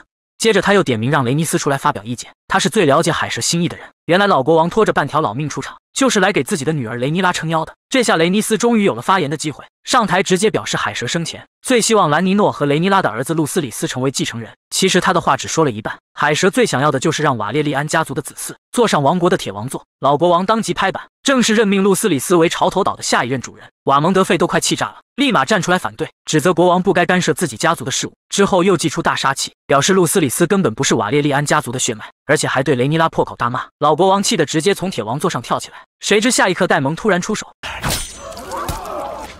直接将瓦蒙德劈成了两截，这场波澜起伏的听证会也就此画上圆满句号。接下来就是老国王期盼已久的皇室成员大聚餐了。当所有成员到齐后，老国王艰难地站起身，随后缓缓摘下黄金面具，露出来半张腐烂不堪的脸，希望在座的所有人都能看清他真实的一面，不仅仅只是国王的身份，而是大家的父亲、兄长。丈夫以及外公，他临死前最大的心愿就是一家人能够团结和睦。雷尼拉第一个站起身，由衷的赞美了王后对国王的不离不弃，显然是用实际行动来回应父亲的心愿。阿利森反应也很快，站起身回敬了雷尼拉一杯，接着他俩的孩子也纷纷表态，桌上的气氛瞬间和睦起来。老国王无比欣慰地望着眼前一幕，枯瘦的脸庞上难得露出一丝笑容，这也许是天下所有老人家的心愿吧。没过多久，老国王因为身体不适，提前被侍卫带回去休息。当他身影消失的一刹那，餐桌上的气氛风云突变。先是阿利森的二儿子伊蒙德出言挑衅雷尼拉的几个儿子个头矮小，接着双方开始大打出手，现场顿时乱成一锅粥。最后还是戴蒙站出来，一言未发，仅凭气势就震慑住了几位冲动的孩子，一场家族大合欢也就此草草收场。也许是白天耗费了太多精力，老国王此时的身体更加疼痛了。勉强喝下一杯英利花茶后，他便开始喃喃自语，表示伊耿的预言：冰与火之歌即将降临，必须由你团结所有子民去对抗黑暗。这明显是老国王想对公主雷尼拉说的话，而他口中的伊耿，则是那位统一王朝的伟大先辈。言外之意，算是彻底认同了雷尼拉的继承人之位。可王后阿丽森听起来完全不是这个意思。难道老国王终于认可了自己的废柴儿子伊耿，要立他为王位继承人吗？当阿丽森心潮澎湃的离去后，老国王缓缓抬起手臂，眼角流出几滴泪痕。老国王明显是对他死去的王后艾玛余情未了，要立对方留下的唯一孩子雷尼拉为继承人也无可厚非。谁知他临死前的一段胡话，却彻底激发了王后阿丽森的内心野望。旗帜可以说是引发血龙狂舞的重要原因之一。昏暗阴冷的红堡内，每一处都沉浸在死一般的寂静中。王后阿丽森突然接到消息，老国王驾崩了。经历了短暂的伤痛后，阿丽森很快恢复成干练小达人。先是叮嘱侍女保守秘密，随后便是第一时间找到首相父亲奥托，说出了老国王昨晚交代的遗言，他要立伊耿为王位继承人。虽然当时只有王后一个人在场，可首相觉得有阿丽森这个表态就足够了，是否属实已经无足轻重。于是第一时间召集众臣来到会议大厅，宣布了老国王的遗愿。父女俩把持朝政多年，在座的大部分人早就和他们一条心，不约而同地安排起伊耿继任王位的计划。军方准备替换效忠于戴蒙的守备队长，国库财政准备严加看管资金，一系列动作像是早有预谋一般。就连阿利森都是满脸惊讶，想必这些都是御前首相一手操办的。不过在座的也有公主雷尼拉的支持者，他不相信老国王会在临终前替换继承人，这分明就是一场阴谋。就连老国王的死因都有待商榷。可老臣子的话还没说完，就被御林铁卫克里斯顿猛地按在桌子上，结果老臣子当场丧命。御林军司令气得当场拔剑，谁知克里斯顿丝毫不给上级面子，眼看会议进行不下去了，有人想要先处理尸体，却被首相奥托制止了。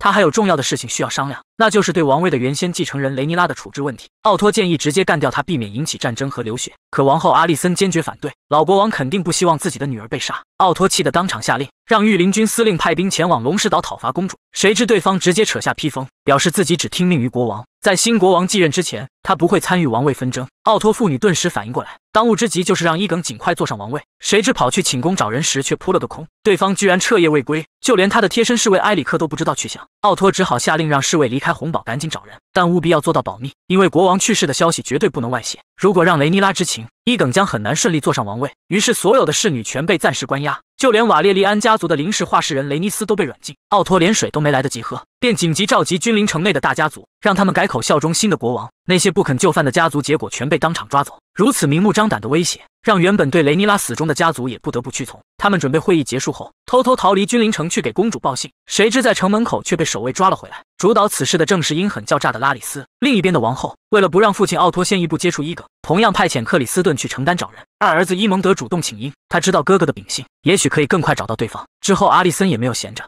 飞快找到被软禁的雷尼斯。只要对方选择两不相帮，公主雷尼拉的优势便不会太过明显，这样双方才有可能坐下来和谈。为此，王后提出交易条件，那就是支持雷尼斯以及他的外孙女成为潮头岛之主。雷尼斯知道现在的潮头岛之主露丝里斯其实并不是自己的亲孙子，对于这个条件确实有些心动了。不过他对王后的软禁行为十分恼火，因此出言也比较恶毒，表示王后自始至终都只会服侍男人，先前是父亲和丈夫，现在又是自己的儿子，难道就没想过自己坐上王位吗？这句话的杀伤力太过巨大，气得王后当场拂袖而去。红堡外的伊蒙德为了找到废物哥哥伊耿，直接带着克里斯顿来到烟花之地，这里是他最有可能出没的地方。谁知老板娘却说伊耿已经好几年没来了，以他的品味，应该在更低级的地方才对。随即两人继续走街串巷，却无意中看到首相奥托正在和情报组织白蛆虫会面。想不到对方一上来就说出了国王去世的消息，真不愧是专业的情报头子。而且他比所有人都先一步找到了伊耿，表示想要交人也行，但要求奥托必须整顿君临城的治安。奥托心中急得不行，不但支付了一大笔报酬，还信誓旦旦地表示届时一定会好好治理君临城。随即没过多久，伊耿在大教堂内被侍卫找到，谁知他们刚刚出门就被紧随其后的克里斯顿截住。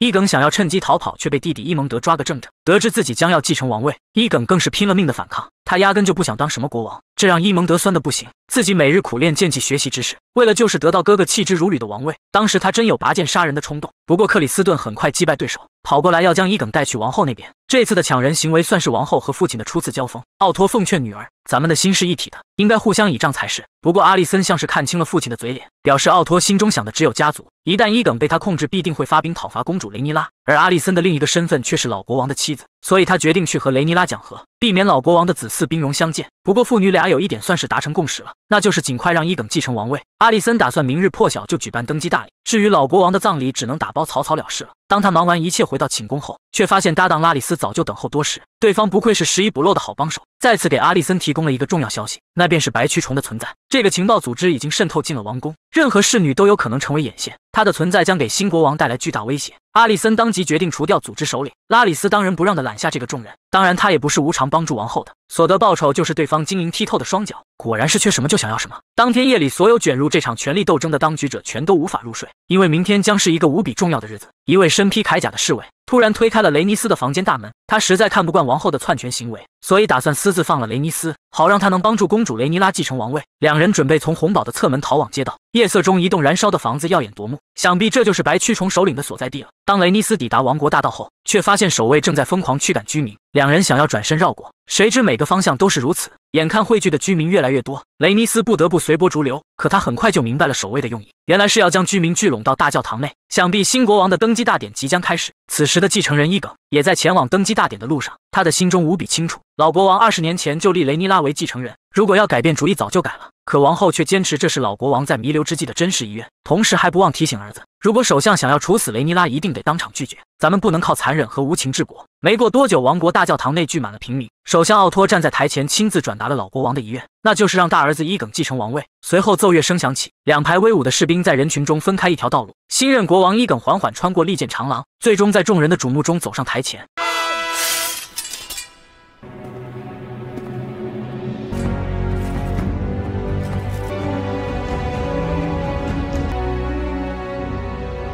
而台下的雷尼斯左右看了看。接着便悄悄远离人群，朝着龙穴方向走去。当加冕致辞完结后，伊耿终于戴上了沉甸甸的征服者王冠，看着王国的重量级人物都在朝自己致敬，他终于体会到了一丝权力带来的快感。尤其是台下民众传来铺天盖地的呼喊声后，原先还无比抗拒的伊耿瞬间适应了国王的新身份，甚至有些沉迷其中无法自拔。谁知下一刻，巨大爆炸响彻云霄。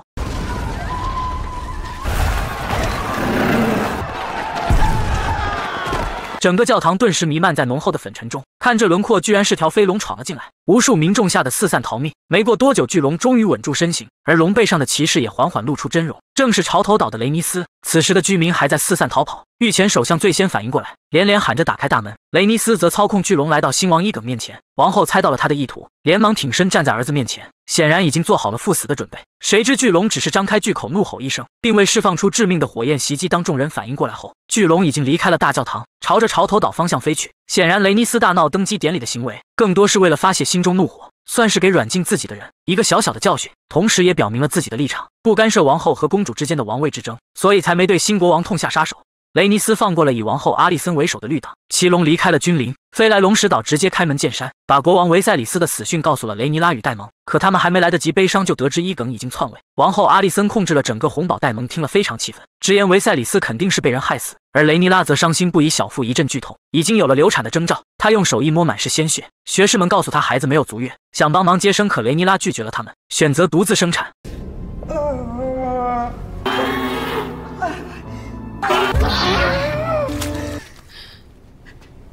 经过一番撕心裂肺的疼痛，雷尼拉最终却产下一名死婴，和他母亲一样。也许这就是龙家近亲结婚的宿命。随后，他与戴蒙为刚出生的儿子举行了葬礼。就在这时，放走雷尼斯的御林铁卫求见，他献上了维赛里斯的王冠，并宣誓效忠。Defend her name and honor. Obey her commands. I shall guard her secrets.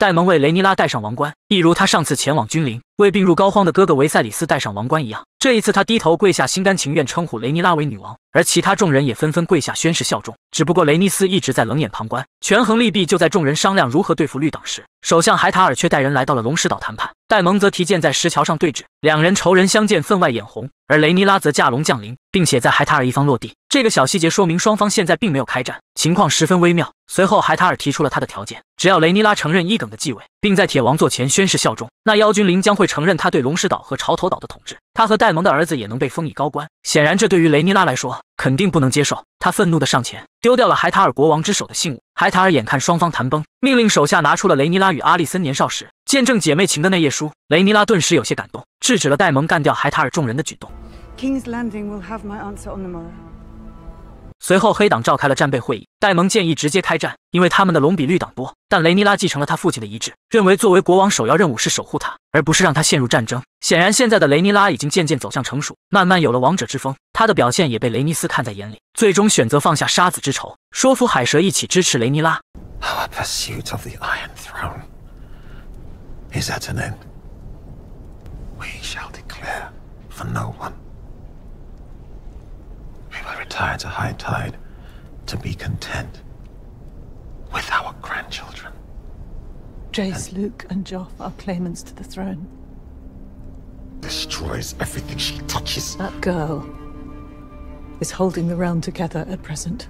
两人来到了大厅，当众宣布全力支持雷尼拉。原来是丹利姑的女王，顿时振奋了不少。随后，海蛇提出了一个计划：只要雷尼拉一声令下，潮头岛就能切断所有通往君临的航道与贸易。而雷尼斯也愿意亲自驾龙在周围巡逻，这样他们就能围困整座红堡。不过，为了有足够的兵力来包围君临，雷尼拉必须取得林东城和鹰巢城和风息堡的支持。于是，他派出了戴蒙和自己的儿子，分别前往三地，并特意嘱咐两人绝不能与人动手。另一边，戴蒙始终觉得龙才是决定胜负的关键，而伊蒙德的瓦格哈尔肯定是最大的威胁。他们龙虽然多，但大部分都是小龙。于是，戴蒙来到龙石岛底部，找到了传说中的巨龙青铜之怒，试图将之收服。而小鹿也已经到达了风息堡。可他刚落地就看到了瓦格哈尔。显然伊蒙德比他早到。进入城堡后，小鹿说明了来意，递上了雷尼拉的信件。拜拉席恩公爵顿时大怒，好歹绿党提出用联姻来换取他的支持与兵力，可雷尼拉却只是空口说白话，提醒他父亲的誓言。小鹿见情况不妙，只好转身离开。可出门后，外面已是雷电交加，大雨倾盆而下。小鹿怕仇人伊蒙德找麻烦，连忙飞走，但伊蒙德却没打算放过他，驾驭着瓦格哈尔很快追了上来。龙都是暴怒的生物，面对瓦格哈尔的数次挑衅，小龙再也忍不住，也没有听从小鹿的控制，直接向瓦格哈尔喷火。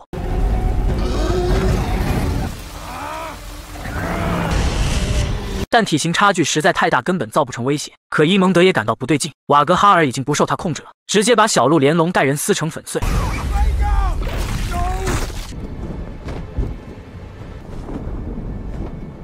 伊蒙德看着眼前的阵幕，才知道自己闯下大祸。想必阿利森也交代过他不能伤人。随后戴蒙知道了这个消息，告诉了雷尼拉，他顿时悲痛欲绝，眼神中杀气渐渐弥漫。第二季的故事先从北境开启，上季最后杰卡里斯。骑着沃马克斯来到这里，希望为母亲赢得北境狼家的支持。克雷跟史塔克先说了派兵的难处，但为了那冰与火之盟，他们当然也会为龙家尽一份力。What does it keep out? Death. I have thousands of greybeards who have already seen too many winters. They are well horned, so they're old. I can ready them to march at once. We'll fight hard, like Northerners. My lord. A raven's arrived. Urgent news from Dragonstone. 信上的内容就是上季最后小鹿的死讯，这也预示着黑绿两党的战斗将全面开启。戴蒙还是那么性情，直接找到雷尼斯，希望能联手直取伊蒙斯的狗命，为小鹿报仇。但无冕女王有她自己的想法，即便开战也要堂堂正正的对垒，不能被仇恨冲昏了头脑，搞什么暗杀一类的手段。戴蒙反驳他这是妇人之仁，如果在上季龙穴登基的时候，他能把握机会，那所谓的伊耿二世不就没了吗？Fly with me. It is a command. Would that you were the king. 另一边的伊蒙德返回了君临城，从瓦格哈尔的翅膀不难看出，他确实久经沙场，也因逐渐老迈的身体显出了疲态。上季的王后阿丽森已成为太后，她与科尔刚进行了一场唇枪舌战，提上裙子后却瞬间翻脸，示意两人的关系必须叫停。科尔也没废话，既然你说叫停，那我便会守口如瓶。一梗二世来找杰赫里斯，遇到了妻子海伦娜，他说最近有些害怕。伊耿强调有巨龙保护，不必担心。但海伦娜说他怕的不是龙，而是老鼠。伊耿有些不明所以，他不知道海伦娜说的老鼠其实还有着明枪易躲、暗箭难防的意思。笑了笑，便独自离去。没想到后来妻子的话竟一语成谶。过了一会，伊耿带着杰赫里斯出席了御前会议。奥托分析着当下的局势，古地北境都是以毒未回，八成是够呛了。风暴地的陆家跟伊蒙德订了婚约，基本上是拿下了。西境的兰尼斯特以及奥托的势力就阵，也都在陆续的集结兵马。太后的本意是想尽量求和，避免开战。而伊耿二世作为新王，根本不在乎即将发生的腥风血雨。他甚至在御前会议上玩起了过家家，命令财政大臣泰兰给王子当大马骑。I think he wants a ride. Your Grace. A, a ride? A pony ride. Wouldn't that be fun, Jaharis? Should the Master of Coin be your royal steed? There are important matters to discuss. 尽管泰兰爵士数次打断。Off you go, Jaharis. Goodbye.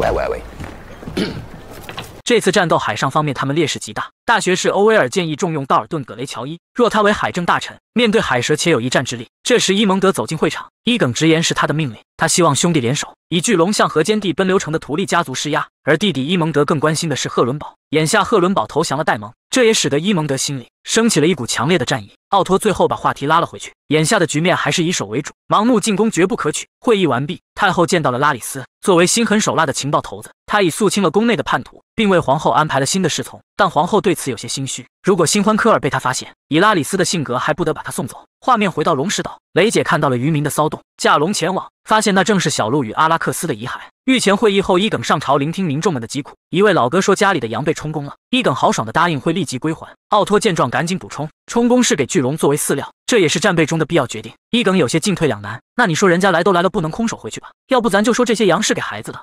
奥托理解伊耿对东方文化非常沉迷，但这地主权术可不比人情世故。正所谓人不狠就站不稳。伊耿听完也连连点头，也觉得是那意思。解决了这个问题，下一个请愿的是铁匠的代表修夫，他希望能得到财政的扶持，用来制造防御巨龙的蝎弩。伊耿听完直接承诺，还赞扬了铁匠们做出的贡献。会议过后，拉里斯悄悄出现，将伊耿叫走。他接下来的话，在伊耿心中埋下了一颗钉子。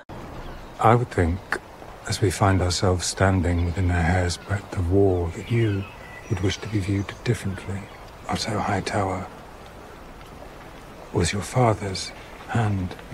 太后见到奥托，立即火力全开。她希望得到老爸的支持，尤其在御前会议上要给他足够的威信。伊耿与伊蒙德年纪还小，战斗的决策权终究还是在妇女手上。有些伤亡确实无法避免，但还是要做到尽可能的减少。女儿的这番话让老练的奥托都有些敬佩。他点了点头，示意会按他说的去做。另一边的白区小梅逃去了龙石岛，愤怒的戴蒙逐渐变得不再理性，怪罪小梅与奥托做了交易，没在关键时刻弄死伊耿，致使雷姐丢了主位，小鹿也被残忍杀害。小梅听完直接回怼，正中戴蒙的痛处：“你把错都怪在我头上，只是因为你根本触碰不到真正的敌人。”戴蒙听完命令手下将其关押，并且将其视为王国的叛徒。悲痛了一整天的雷姐来到了属于女王的御前会议，戴蒙表示会去接管赫伦堡，海蛇方也强调会封锁君临的一切海上贸易，但雷姐对此都并不关心。她现在想做的只有一件事。I want Aemond Targaryen. 雷姐的这番话让戴蒙更加确定了复仇的信念。管他什么大局为重，能为心爱的人报仇雪恨，才是游侠王子该有的作为。于是他找到小梅，打算利用她在红堡内的眼线，对绿党一方来一场真正意义上的复仇。小杰返回龙石岛，将古蒂艾琳以及北境史塔克同盟的消息汇报给雷姐。话还没等说完，小杰便开始流泪，母子俩紧紧抱在一起。他们或许不知道，接下来的血龙狂舞到底意味着什么。祭奠小鹿的仪式庄严且简洁。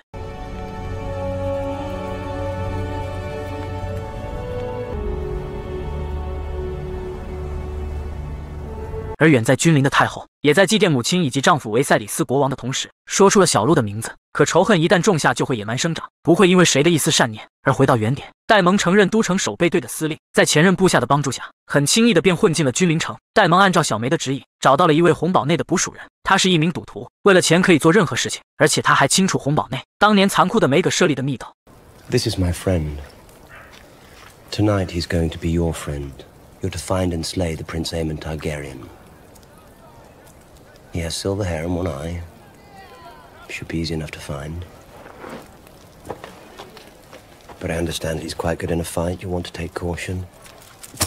此时，伊蒙德与科尔正在商量着如何拿下赫伦堡。伊蒙德对母亲颇有微词，认为他发动政变后却又畏首畏尾，这样的行为像是又当又立。科尔帮情人辩解，说太后的内心非常淳朴，真正阴险毒辣的则是雷杰。奥托这时忽然出现，支走了科尔。他提醒伊蒙德要克制情绪，并暗戳戳地强调。这也正是伊耿所欠缺的。伊蒙德本就不满，能力不如自己的哥哥即位。奥托的这番话算是正中要害，拿捏住了伊蒙德。此时，两位刺客已经潜入了红堡，行进的过程还看到了把酒言欢的伊耿。宫内最近老鼠泛滥，所以也没人在意他们。两人沿着密道来到王室居住的地方。这时，一人发现了王后海伦娜，并将其挟持。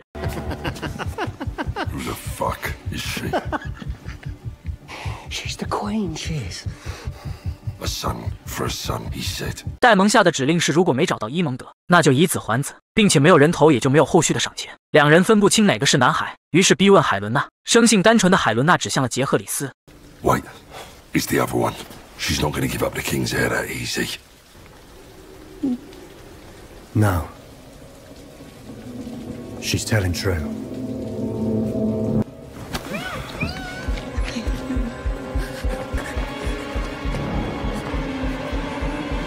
Helena! They killed the boy.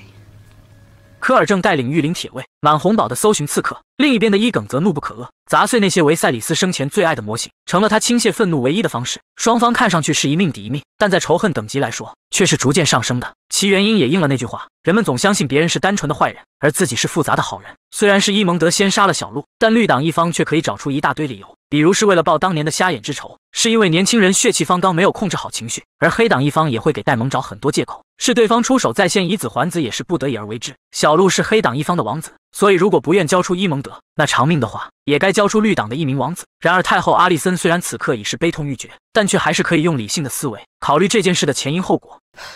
Who pay? Whose ever hand did this or caused it to be done. And what if the hand that's done it is not who must be blamed?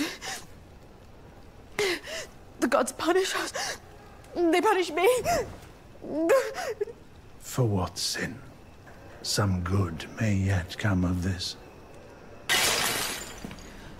And where were the members of this council while the murderer threatened their king? Were you also threatened, Your Grace? I could have been!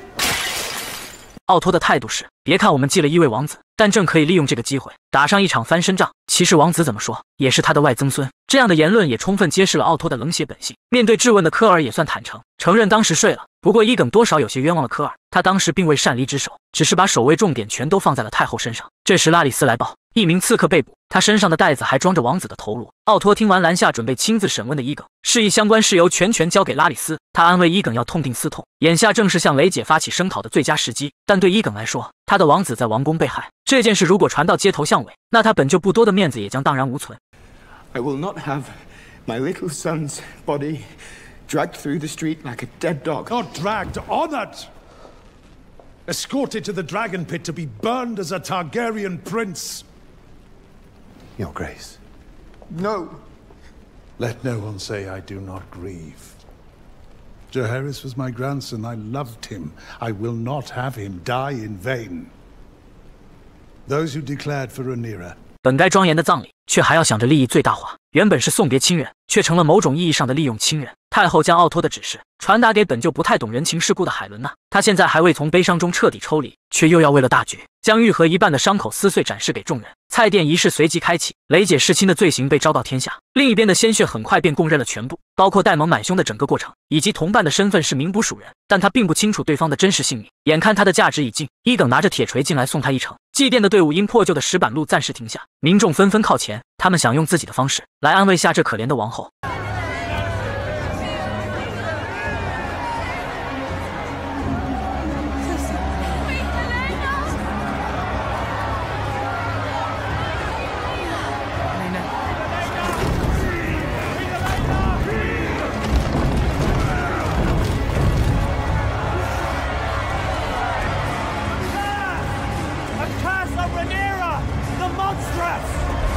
事情很快传去了龙石岛，雷姐对此并不知情，示意该写信反驳他是凶手的言论，并且加强安保，以备随时可能出现的报复。这里还有个细节，小杰想协助侯道布防的雷尼斯监视君临方面的动向，但雷姐刚刚丧子，出于某些安全考量，驳回了他的想法。会议上的戴蒙一言不发，雷杰很快便猜觉出了问题。他向雷杰坦白了买凶杀人的过程，但他十分确定，只说了伊蒙德的名字。其实这里也是编剧有意在给戴蒙洗白，关于他污点的事情，拍摄的时候都刻意进行了留白处理。但不管剧情中如何修饰，事件的结果是不会改变的。原本主动的黑党正在逐渐转为被动，看似坚定团结的内部，也因戴蒙的操作产生了裂痕。而接下来的这段争吵也十分贴近生活，在遥远的东方被叫做翻小肠。I think you used my words as an excuse to take your own revenge. To indulge the darkness you keep sheathed within you like a blade. You think me some kind of monster? Oh, I don't know what to think of you. I don't know what you are, or who it is you serve. Am I not on my way even now to Harrenhal to raise an army in your name, Rhaenyra? Yours! 雷姐与戴蒙看似不欢而散，但也都还明白床头吵架床尾和的道理。眼下的一切都要为时间让路，正所谓兵贵神速，留给他们的时间也确实不多了。随后，雷姐叫来了准儿媳贝尼拉，让她骑着乐舞去监视君临方面的动向。这其中蕴藏的私心也是非常明显。她刚才与父亲擦身而过，于是询问雷姐父亲的去向。He must follow his own path. 戴蒙的行动方向这里先按下不表。画面回到君临，对于昨晚的事情，科尔与太后都难辞其咎。若不是两人偷情支走了守卫，两位刺客也绝不会如此轻易的行凶。或许是为了救赎，又或许是想新酒旧账一起算。科尔迅速做出反应，找到了亚历克，他的孪生兄弟伊利克成了叛徒，加入了黑党。科尔以此作为理由，不断的 CPU 亚历克，让他行刺雷姐，以表绝对的忠诚。至于计划也非常简洁，那就是潜入龙石岛，再扮成他兄弟的样子，埋伏在雷姐身旁。接下来的一幕，联动了隔壁的黑袍纠菜队。伊蒙德与阿祖有着共同爱好，不仅喜欢年纪大的。鲜活母乳也是背不离手。昨晚他躲过一劫，就是因为来了这里。他在这里卸下防备，也说出了真实想法。对于杀害小鹿的行为，直到现在他都非常后悔。这些王室成员们都在一面享受生活，一面展示着内心的苦。而对于那些普通民众面，战争留给他们的就只剩下苦了。水上贸易被封后，铁匠修夫一家便开始捉襟见肘。孩子病了，没有药品，充饥的食物也只有些青菜碎叶。国王伊耿口中的救济，根本不知道会何时应验。画面回到龙石岛，上集被海蛇钦点的艾琳见到了哥哥亚当，两人的对话也似乎隐藏了一些细节。Serve with a sea snake is to make your fortune. Had I such a chance, I would leap at it. That's because you haven't seen what I've seen. There is a war brewing, Adam. A real one. Another opportunity to distinguish yourself. Remind him of your worth. Oh, I need no favors. But brother, he owes you.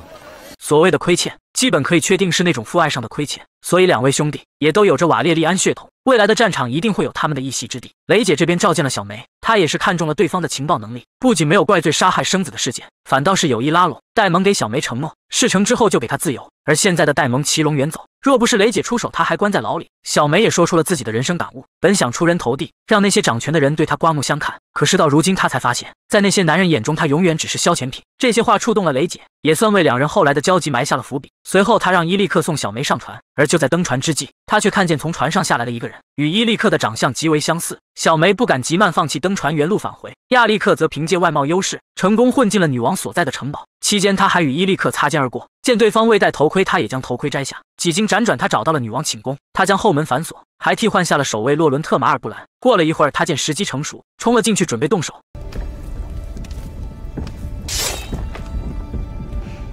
好在这时伊利克收到了小梅的消息，立即前来救驾，两人不由分说站到了一起。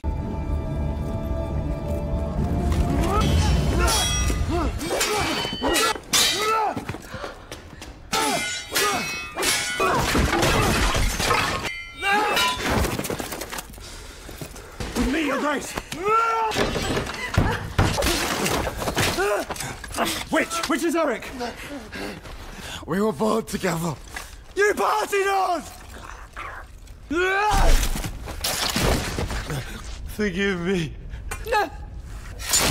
画面回到君临，红堡内的捕鼠人无一幸免，全被伊耿下令吊死。奶酪也在其中，算是为自己的行为付出了应有的代价。奥托闻讯痛批了一顿伊耿，他们刚用王子的血换来了一点民众的信任，这一转手就被伊耿败光了。面对外公的训斥，伊耿这回终于给出了回应。他要做的不是讨好那些民众，而是以雷霆手段进行有力的回应。说着，他指向并夸赞科尔，声称派人去干掉雷姐才是一位贤臣应该做的。听完这里的奥托万念俱灰，眼下整个节奏已经完全不在他的掌控。In this hour, you have proven yourself of more worth than a hundred old men. Give it to Cole. You will regret this. 失落的奥托找到太后，太后的想法一直是主和，也就是能不打就尽量不要打，并且在上集中，他的想法也得到了奥托的认可。但现在的国王之手换成了科尔，伊耿加上科尔的组合，那结果就是非打不可。奥托决定回到封地就镇，在那里韬光养晦，或许还能为绿党尽一份力。而王后建议他转去高庭，河湾地的提利尔家以及他们的封臣迟迟不肯表明立场。奥托只需想办法将其拉拢。至于伊耿以及科尔，太后自有手段去影响并操控他们的抉择。本想坦白与科尔的私情，但奥托摇了摇头，表示并不想听到他的忏悔。其实，作为奥托，怎可能不知道两人的事情？毕竟，连亚历克这样的侍卫与科尔争吵的时候都差点说漏了嘴。但他同样也是太后的父亲，与其拆穿，还不如骗自己根本就没有发生过。太后随即来找伊耿，本想借助他罢免奥托的名义来剥慈母方氏的 CPU，可是当看到眼前伊耿，他话到嘴边又咽了回去。画面来到河间地，穿红黑色衣服的是布莱伍德家族，为首的名叫班吉寇布莱伍德。他后来收获了一个响亮的外号是血斑。他的姑妈亚历山也是个狠人，调号黑亚历。他们整个家族也是坚定的支持黑党。对面的布雷肯家族与他们家属于世仇，眼下还支持起了绿党。血斑这骨子里就有一股疯狂属性。今天借着机会刚好释放一下。Let me tell you, Aegon Targaryen is no true king, just as you are no true knight.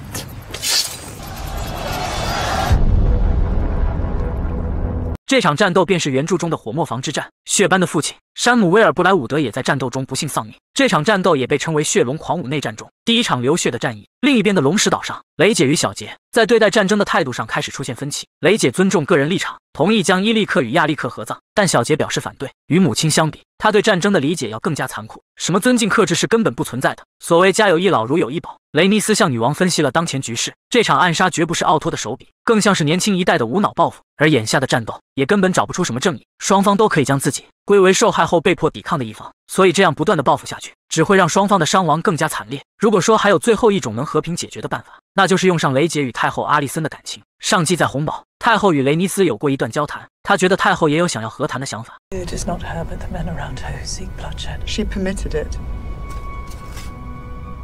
As you permitted the murder of a little boy in his bed. 雷尼斯的话不无道理，两人虽都是位高权重，但也不见得所有决定都要经过他们同意。而眼下雷姐正在气头上，她仅不相信还能与太后求和。画面回到君临，首次以国王之首的身份出席御前会议的科尔略微有些紧张。火磨坊之战血流成河，这种全面开战的信号对伊耿来说正是求之不得。而对于河间地的问题，几位大臣都有各自的想法。大学士认为应该让图利家族出面，法务大臣说可以凭借旧镇的兵力配合伊耿的弟弟戴伦王子协同出战。财政大臣泰兰认为那样太慢，弟弟杰森从西境的凯岩城出发，很快就能抵达布莱伍德家族的压树城。原本是献计献策，随着话题深入，几位大臣开始互相嘲讽。科尔这时以国王之首的身份定了一个基调，他会召集兵力前往赫伦堡，结合上布雷肯家族，定能一举拿下。说完，他看向一旁的国王伊耿，有些兴奋，打算留下伊蒙德守城，带上扬言与科尔一同出战。To war then. I'll come too with Sunfire. Egon. Your Grace. You'll need a dragon. My plan is not to draw attention. And and what will you do if you encounter one or more of Rhaenyra's dragons? She'll want to answer for Sir Eric. We will be more like to encounter one if we field one of our own. That is precisely why you must remain, brother. It's a brave thought, but we cannot risk your loss. I'm as fearsome as any of them. 这里可以留意下各位角色的人物性格。伊耿比较容易上头，相比之下的伊蒙德则更加沉稳，而性格对他们的命运走向也会起到关键作用。上集的小梅投桃报李， 放弃登船，成功救下雷姐。他向雷姐提出了一个不情之请，列席他的御前会议。他这么做，一方面是想彻底扳倒海塔尔家族，另一方面他也被雷姐的善念打动。与伊耿相比，他会是个更好的王。而对于雷姐来说，以小梅对红宝的了解，让她成为情报总管也是不错的选择。随后，雷姐见到了戴蒙的女儿雷尼亚，她准备让儿子乔佛里带着幼龙泰雷克修前往谷地，以龙的庇护换取谷地骑兵的帮助。而为了保护年幼的王子们，雷尼亚将负责和他们一同前往，并司机带他们去潘托斯来远离战场。潘托斯对他来说算是半个出生地，再为熟悉不过，所以这项任务也只有他能完成。彼时画面来到了兵家必争的赫伦堡，戴蒙的出场向来牌面拉满。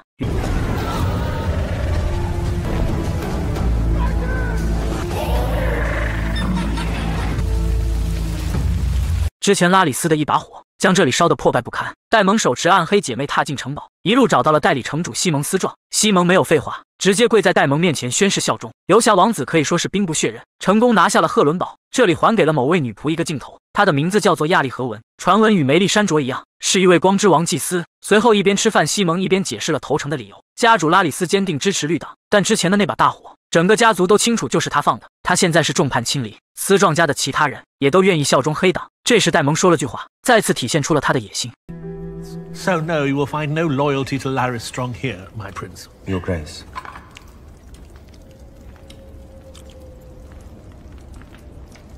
Forgive me, I, I, um. I. I'd only assumed that as consort. And we are reminded of the perilousness of assumption. Your Grace.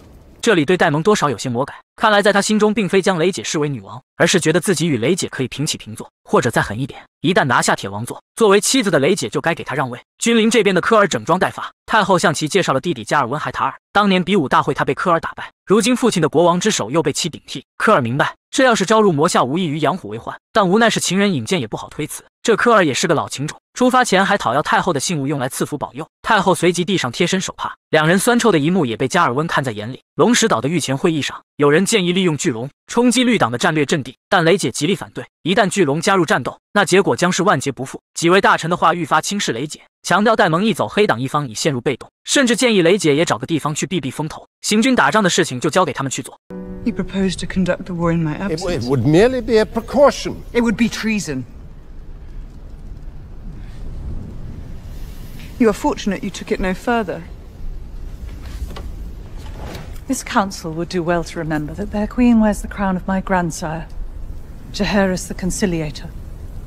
因为淋过雨，所以雷尼斯总想替别人撑伞。 他找到海蛇，恳请将龙石岛的继承人传给雷尼亚，但尽管有理有据，他还是很难接受让女性来继承龙石岛。雷尼亚原本也有一枚龙蛋，但孵化失败成了他一生的痛。这次出行，雷姐将叙拉克斯生下的龙蛋也让他一并带上，这也让雷尼亚得到了些许安慰，重新看到了获得巨龙的希望。短暂的告别过后，雷姐用坚毅的眼神看向那些即将离去的孩子们，不管在哪里，孩子都被视为希望。而当巨龙的火焰席卷维斯特洛，所谓的希望又能支撑多久呢？另一边的太后找到海伦娜，她本想道歉，但还没等开口，海伦娜就说原谅他了。这也再次证明海伦娜确实具备一定的预言能力。另一边的伊耿穿好盔甲，正打算骑着龙去与科尔会合。这时拉里斯求见，他随后的一番话也警醒了伊耿。There are diverse rumors whispered on the streets of your city. One such is that your grace sends his forces to battle, and in his courage and wisdom flies with them. Another is that his grace was outwitted by his counselors and persuaded to fly to war with Sir kriston so the Queen Alicent may reign in his absence, with Prince Aemond at her side. Who spreads these lies? Matters little. Tales take on a life of their own, like weeds, unless they are tended. Tend to them then. 伊耿肯定了拉里斯的能力，并将其提升为了情报总管。流言虽不可信，但也确实存在一定的可能。于是伊耿放弃出征，留在军临警守主位。接下来出场了一名角色，叫做沃尔夫。上集吊死捕鼠人的场景中，他也曾出现过。他与之前的铁匠修夫一样，都会是后续剧情中的主要角色。他正跟酒友们吹嘘着自己的坦格利安血统。这时伊耿忽然带着手下到访，伊耿很快便喝醉，到处乱闯，刚好撞见了弟弟伊蒙德。伊蒙德也是个狠人，直接起身将女伴抛下，示意他们随便拿去玩。第二天一早，科尔刚拦下准备去旅店休息的加尔温，忽然察觉头顶有巨龙出现，几人快速逃向树林躲避。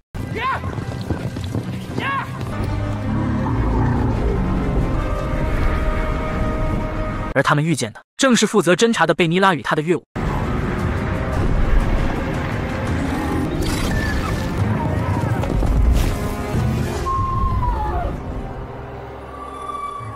几人逃过一劫，加尔温也表示欠了科尔一个人情。另一边的贝尼拉立即将消息汇报给雷姐，压七堡的斯汤顿伯爵立即请命，迅速返回巩固城防以御外敌。这时大家又开始提醒雷姐，应该果断派龙前往将科尔他们全部消灭。雷姐看了看雷尼斯，对方的表情非常平静，示意雷姐该自行定夺。雷姐表示还需考虑，随即退出了会议。另一边的戴豪留在赫伦堡休整，他被某种力量拉入了一个幻境，其中年轻的雷姐正抱着死去的杰赫里斯，将他的头缝合回原来的身体上。戴蒙突然惊醒，竟出现在了赫伦堡中神墓林的新树一旁。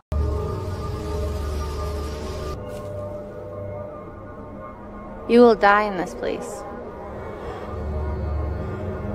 回到房间的雷姐打开了之前太后送来的信，其内容虽未能详见，但可以推断满是求和的诚意。随即她找到小梅，希望能想想办法与太后见上一面。太后有个习惯，就是去红堡外的教堂祷告，刚好雷姐可以扮成修女的身份，坐渔船混进城里，再潜入教堂。史蒂芬·达克林陪同雷姐一同前往，他在门口警戒。雷姐走进教堂，见到了太后，雷姐动之以情，聊到了当年姐妹间的美好回忆，随后又晓之以理，强调全面开战产生的严重后果。她的目的只有一个，就是寻求某种和平的解决方法。太后这时提到了老国王临终时的遗言，她以母亲的名义起誓，绝没有半点说谎。她当时非常虚弱，并且提到了伊耿的名字。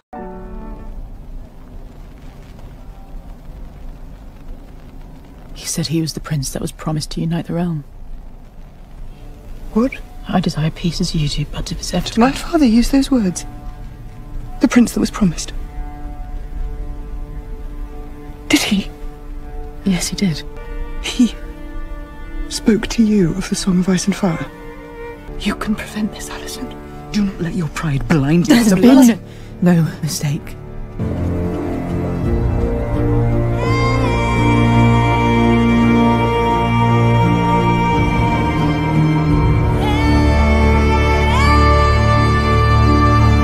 梦中的戴蒙来到了铁王座的面前，上面坐着的正是年少时的雷姐。雷姐怒斥戴蒙：“你造就了我，如今却要毁掉我，不过是因为你的哥哥爱我大过了爱你。”戴蒙听完，手起刀落，让雷姐身首异处。正所谓谎言并不可怕，真相才是快刀。梦中的戴蒙会如此愤怒，正是因为被雷姐说中了要害。随后，西蒙将其吵醒，渡鸦来报，两周前科尔的军队从君临出发，君临北部的罗斯比城与史铎克沃斯堡不战而降。他们的驻军并入科尔麾下，从进攻方向来看，他们将真奔赫伦堡。眼下临时组建军队，根本已经来不及了。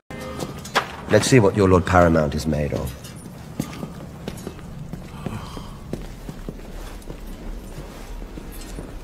My, my, my, my prince, uh, my, my grace, your grace.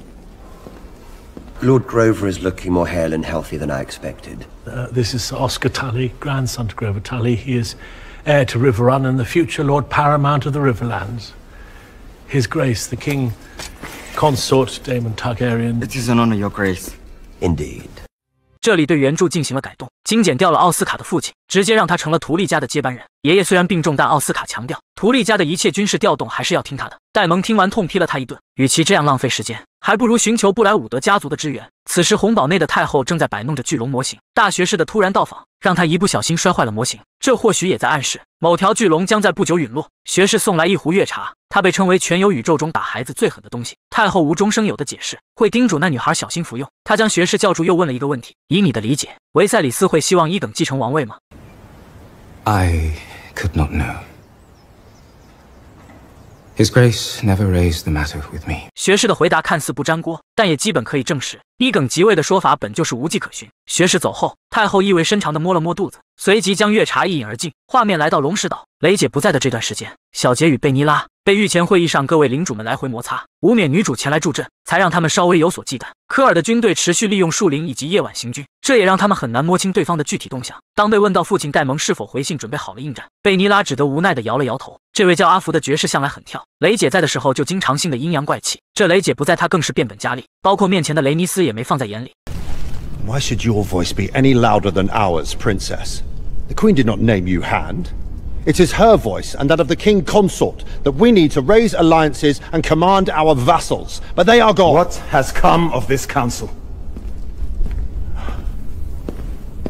海蛇的出现勉强稳住了局面。在雷姐返回之前，他们要做的就是互相信任。另一边的科尔他们一路高歌猛进，战胜了木谷镇的达克林家族。上级陪雷姐前往教堂的更蒂芬达科林就是这个家族的成员，他的父亲被科尔亲手处决。而科尔的下一个目标就是上级女王御前会议上主动请缨的汤斯敦伯爵所在的压七堡。这里有必要解释一下，压七堡在木古镇东北方向，而赫伦堡在木古镇的西侧。能看出科尔并不想跟戴蒙拼正面，他是打算利用地面部队逐步瓦解掉效忠黑党一方的各大家族，而尽量避免巨龙间的交战。也正是太后的意愿。所以从某个方面来讲，太后看上去像是做到了对父亲奥托的承诺，自有办法拿捏科尔。另一边的红堡内，伊耿听说戴蒙轻取赫伦堡，被气得快要疯了。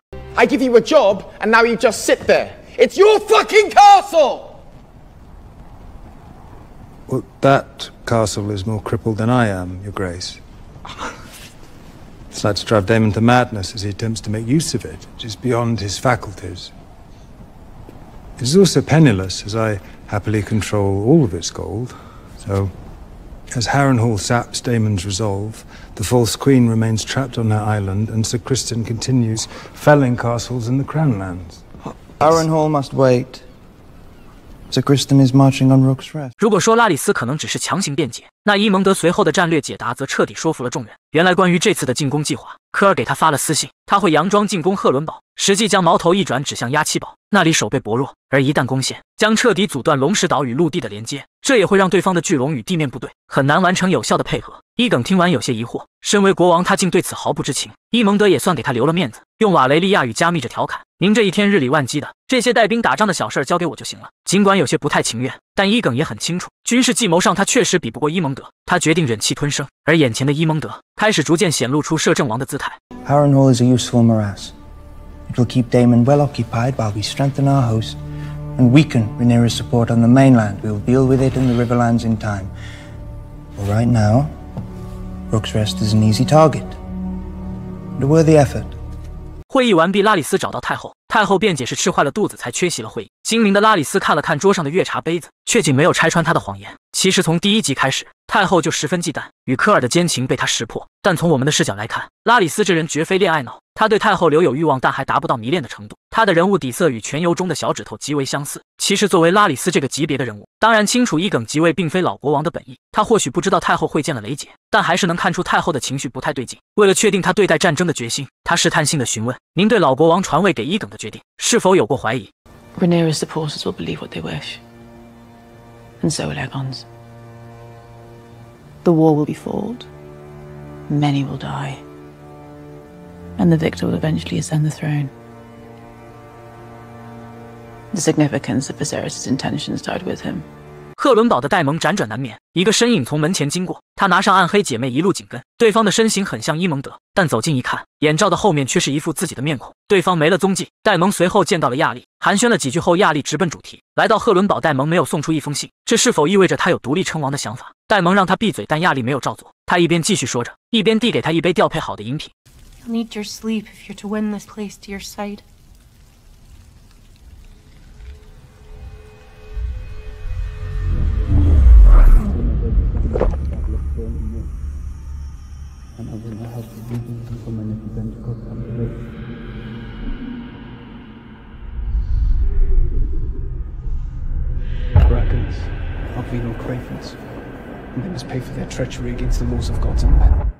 这女巫亚历确实有点东西。从现在的设定来看，她与全游中的梅丽珊卓非常相似。醒来的戴蒙出现在了会议桌前，正与威廉布莱伍德商量着合作事宜。这药劲儿确实不小。亡妻兰纳尔的身影竟然恍惚间出现在了眼前。威廉的态度非常直接，只要戴蒙凭借巨龙打垮布雷肯家族，那么布莱伍德的士兵将任其调配。另一边的科尔不顾加尔温的反对，打算在白天直接发起进攻。虽然龙石岛就在对岸，黑党的巨龙随时可能支援，但科尔依然有着必胜的决心。至于缘由，咱们后面再说。画面回到龙石岛，返回的雷姐出席会议，听闻雷姐是去与太后议和，小杰对此非常不满。眼下科尔的军队已经逼近压七堡，必须要派巨龙前往支援。雷姐看出小杰将他求和的态度视为软弱，于是主动提出亲自带上叙拉克斯前往。小杰本想替母复险，但以缺乏经验为由被雷姐劝退。这时雷尼斯主动请战，作为己方最大的一条龙，梅利亚斯绝对是这场战斗的不二选择。雷尼斯的脸上露出自信的笑容，他的决定有理有据，不惧怕任何人来反驳。眼下时间紧迫，雷尼斯必须立刻出发，而君临城中的伊耿却在叛逆的路上越走越远。太后找他聊了一次，撵走奥托本已酿成大错，他现在最好的状态就是什么都别做。伊耿思来想去，越想越是气不过，饮酒壮胆后骑上扬言，决定亲赴战场证明自己。与此同时，雷姐叫来小杰，向他说了那个家族世代维护的秘密。The Targaryen, who sits the Iron Throne, is not just a king or a queen.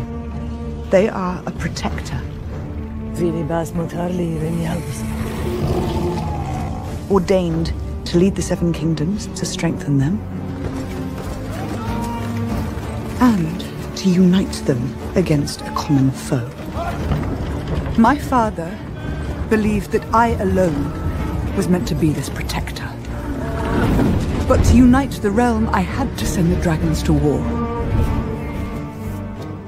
The horrors I have just loosed cannot be for a crown alone. That is why I must believe what Viserys told me when he named me his heir. What Jaehaerys had told him. And what I will now tell you. Aegon the Conqueror's dream. He called it the Song of Ice and Fire. 科尔的大军正在攻城，隐约看见了巨龙的身影。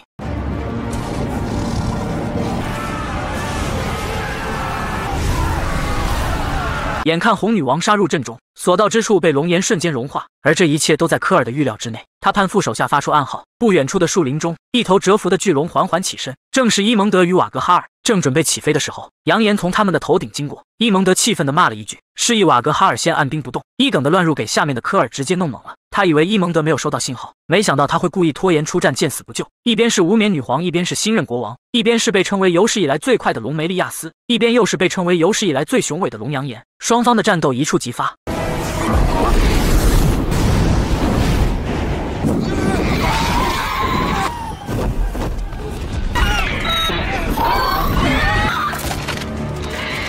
缺乏战斗经验的伊耿被雷尼斯完虐，而不远处的伊蒙德终于按耐不住，带领瓦格哈尔加入战场。此刻城堡内的守军充满绝望，之前尽显狼狈的科尔与伊耿也重新找回了自信。伊耿本以为即将扭转败局，但他没想到在伊蒙德心中根本就没有在意过他的死活。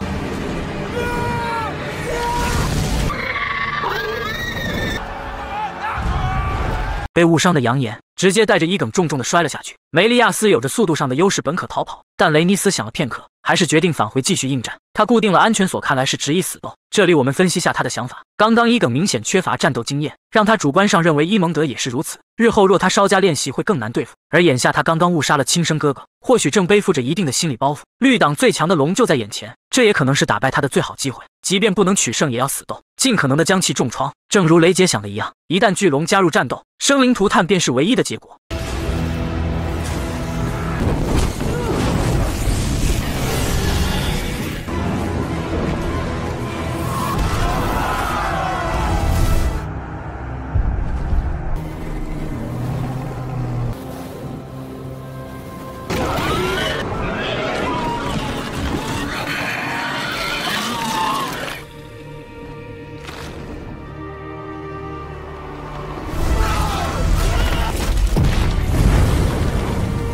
梅利亚斯将城堡砸了一个豁口，活下来的士兵们纷纷涌入。科尔从废墟中缓缓起身，看着眼前大功告成的场面，他却察觉不到一丝胜利的喜悦。现在的拥王者只有一个想法，就是确定国王是否还活着。他示意一旁的骑手跟他去找国王，可留给他的只有一团灰烬。谢灵铁卫的誓言是终其一生都要为君主效命。虽然在情感与肉体的冲击下，他确实违背过誓言，但守护国王的想法无论何时都没有动摇过。君临城内，梅利亚斯的头被割下来，游街示众。曾经不可战胜的巨龙从神坛跌落，苍为肉体凡胎宫人们近距离观赏。他们将胜利的功劳归结到了国王伊耿身上，但这所谓的胜利并没有换来民众的喝彩。眼下君临城的平民们生活的非常窘迫，食不果腹的现状，让他们根本无力思考食物以外的问题。唯一担心伊耿的只有太后。他看了看伊蒙德身上挂着的匕首，正是老国王传给伊耿的。没人知道，在两百多年后，他在艾利亚的手中发挥出了怎样的作用。重伤的伊耿被抬进王宫，队伍从海伦娜的眼前经过，他的情绪却异常平静。学士的小心翼翼地取下被龙焰灼烧后嵌入他皮肤中的铠甲，疼痛肉眼可见。太后只得站在一旁，祈求七神保佑。伊蒙德缓缓走了进来，冰冷地丢出了一句话。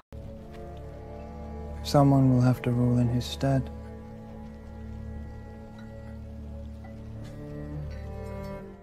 眼下的一切，太后都看在眼里。为了理清伊耿重伤的经过，他找到科尔询问当时的具体情况。或许是出于稳定军心的考虑，科尔三缄其口，将伊蒙德的罪行掩盖了下去。龙石岛的御前会议上，阿福爵士又开始抱怨：现在陆地上，我们陷入了全面被动，唯独剩下了戴蒙那边的一只独苗。可你们两口子之前还吵了一架，眼下也不知戴蒙到底是不是跟咱们一条心的。雷姐反问：怎么的？你是对我的能力有看法吗？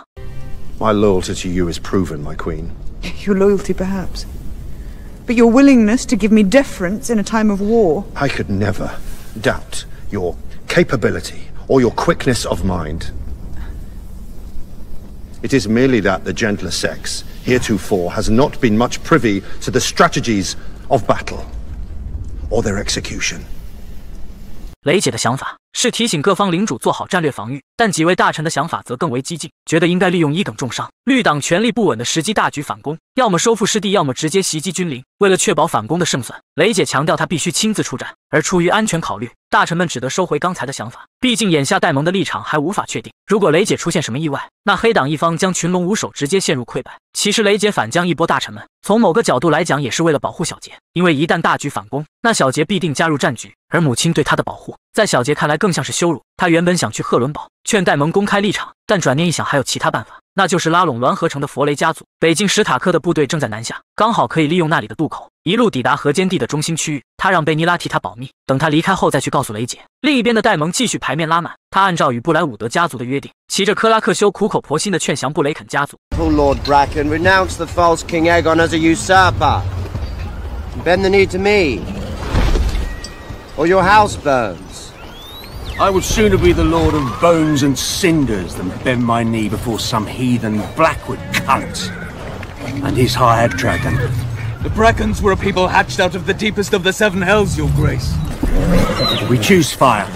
戴蒙并未发动龙焰，与其一举歼灭，将他们的部队纳入麾下才是他真正想要的。于是他劝说威廉以某种特别的方式继续施压布雷肯。接下来进入了一段会员付费的剧情。幻觉频发的戴蒙， 这回梦见了一个白发女子，正是他的母亲阿莱莎·坦格利安，也是第一位屈服梅利亚斯的人。梦中母亲的话略带蛊惑，声称她是为了加冕而生，比维赛里斯更适合成为国王。回到现实的戴蒙与西蒙聊到了赫伦堡的修缮工作。西蒙表示他是心有余而力不足。拉里斯将财富全都搬去了君临，眼下的剩余只够维持几人的温饱。当他问到是否该给雷杰写信寻求金钱上的援助，却被戴蒙一口回绝。他现在对王位权力的渴望，比刚来赫伦堡的时候还要强烈。Very well, Your Grace. You should address me as my king. But you're the prince. What would you call the husband of the queen? Well, the king. There it is then. Consort. 所谓一分钱难倒英雄汉，即便强如戴蒙，也只得技术入股充当一份劳力。亚历这时找到戴蒙，他有着某种魔法，通过风声传递动菜到了戴蒙的计划。他让威廉绑架布雷肯家族的儿童与女性，以这种极为卑劣的方式强迫对方效忠戴蒙。戴蒙对这样的批判不以为意，他提醒亚历，眼下伊耿成了废人，要是伊蒙德那个变态继承王位，整个全国都将民不聊生。所以你最好祈祷，永远不要见到那个独眼怪物。亚历反问：“你口碑也没比伊蒙德好到哪去？但话说回来，你的这些手段也不过是在执行女王的命令吧？” She cannot succeed, Alice. Even if I willed it to be so, the people who support her will not be led by her. They look to a man for strength. Who's better suited to it, the High Towers with their scheming, or Viserys' first true heir? And if you lose? Then I'll be dead, and none of this will be my problem. A message, Your Grace. Uh, fresh news from Stonehenge. The Blackwoods have overwhelmed the Brackens, and uh, Lord Amos has pledged his banner to you. House Bracken is yours. 原本已经成功收复 但在午夜时刻，布雷肯家族跑来找戴蒙请愿，他们本已归降，但布莱伍德实在是不讲武德，烧杀抢掠可谓是无恶不作。戴蒙听完默口难辩，因为当下的情况本就是他暗中受益的结果。对方眼看请愿无果，于是把心一横，收回投诚的想法，决定与一切侵犯者死磕到底。所谓的为达目的不择手段，终有一天将被其反噬。只是这报应来得太快，戴蒙的一番操作换来的只有一地鸡毛。另一边的小杰来到滦河城，双方达成口头协定，弗雷家族效忠雷姐，以此换取赫伦堡的控制权。画面来到古蒂艾琳家族的鹰巢城，眼前这位与雷尼亚对话的便是简妮艾琳。双方的关系有些微妙，简妮想要稳固她的继承权，所以选择支持黑党以换取巨龙的保护。但雷姐派来的却只有两条幼龙，这也导致简妮承诺的一万五千兵力迟迟没有兑现。回到君临的御前会议上，太后提议在伊耿清醒之前，该选出一人作为摄政王。对此，他当仁不让，毕竟老国王在位的时候，他就有过相关经验。The obvious choice is his immediate successor, Prince Aemond. Agreed. It is experience that offers the surest path to security. Queen Alicent ably shouldered the duties of the realm when her husband's health failed him. Experience is valuable, yes, but the Dowager Queen is a woman. I am no stranger to rule or to sitting at this council. No offense was meant, Your Grace, but at a time when we must show strength. Lord Laris. I agree, Your Grace. It must be Prince Aemond. Aemond is the next in line. Must be him.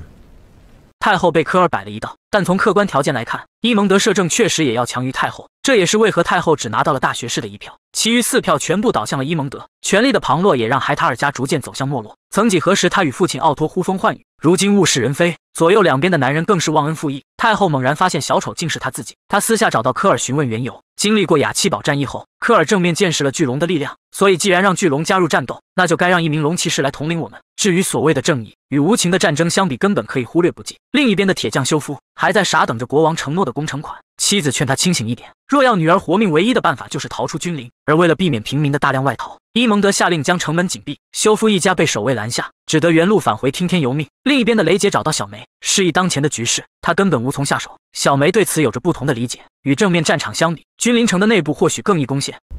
Kristen Cole made a mistake. Parading a dragon's head through the streets like a prize of war. But the people see an ill omen. Yes, as do I. They are afraid. Bread is scarce.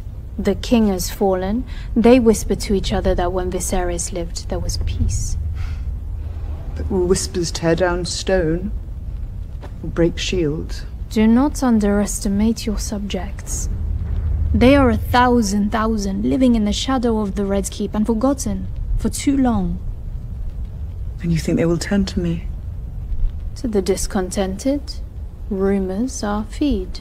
所谓用兵之道，攻心为上，攻城为下。小梅派出侍女伊莲达，借着夜色偷偷溜进君临城。她将这里开展地下工作，以拥护女王的思想为武器，为雷姐开辟新的战场。雷尼斯的陨落让海蛇心痛不已。雷姐派贝尼拉将女王之手的信物交给海蛇，海蛇原本迁怒于雷姐，但外孙女的话却让他十分动容。他的母亲与外祖母都因巨龙而亡，却也死得其所。他为了亲人而战，沐浴龙焰，荣誉加身。这种伟大的结局，也是贝尼拉终身向往的。怀念雷尼斯固然重要，但更重要的是要继承他的遗志，继续前行。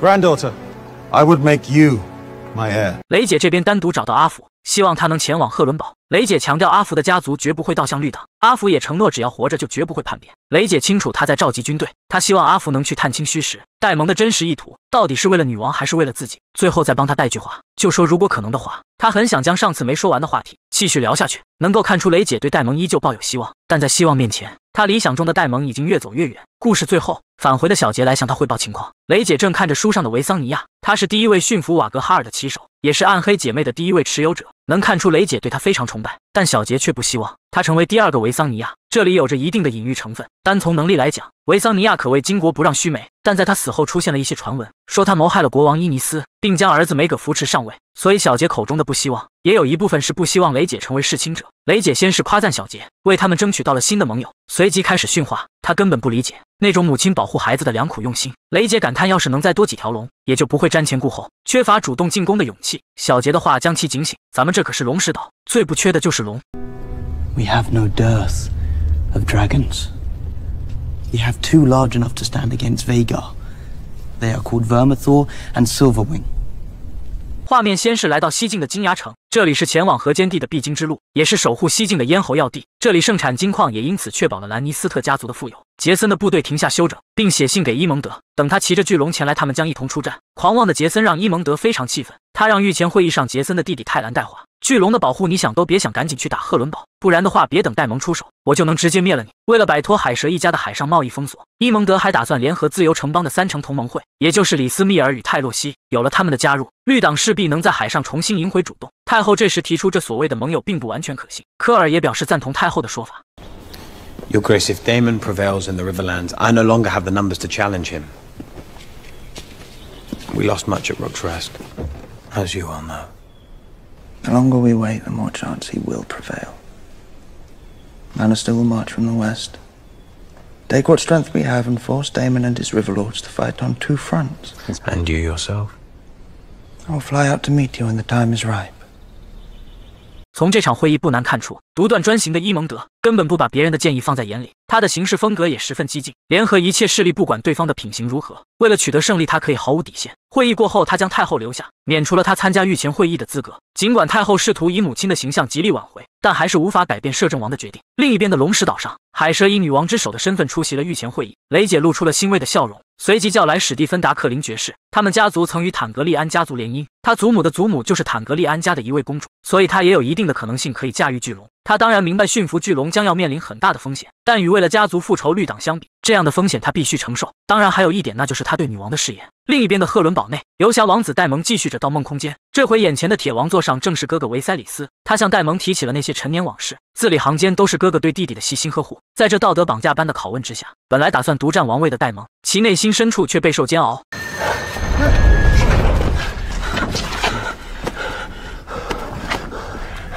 May I be of assistance, Your Grace?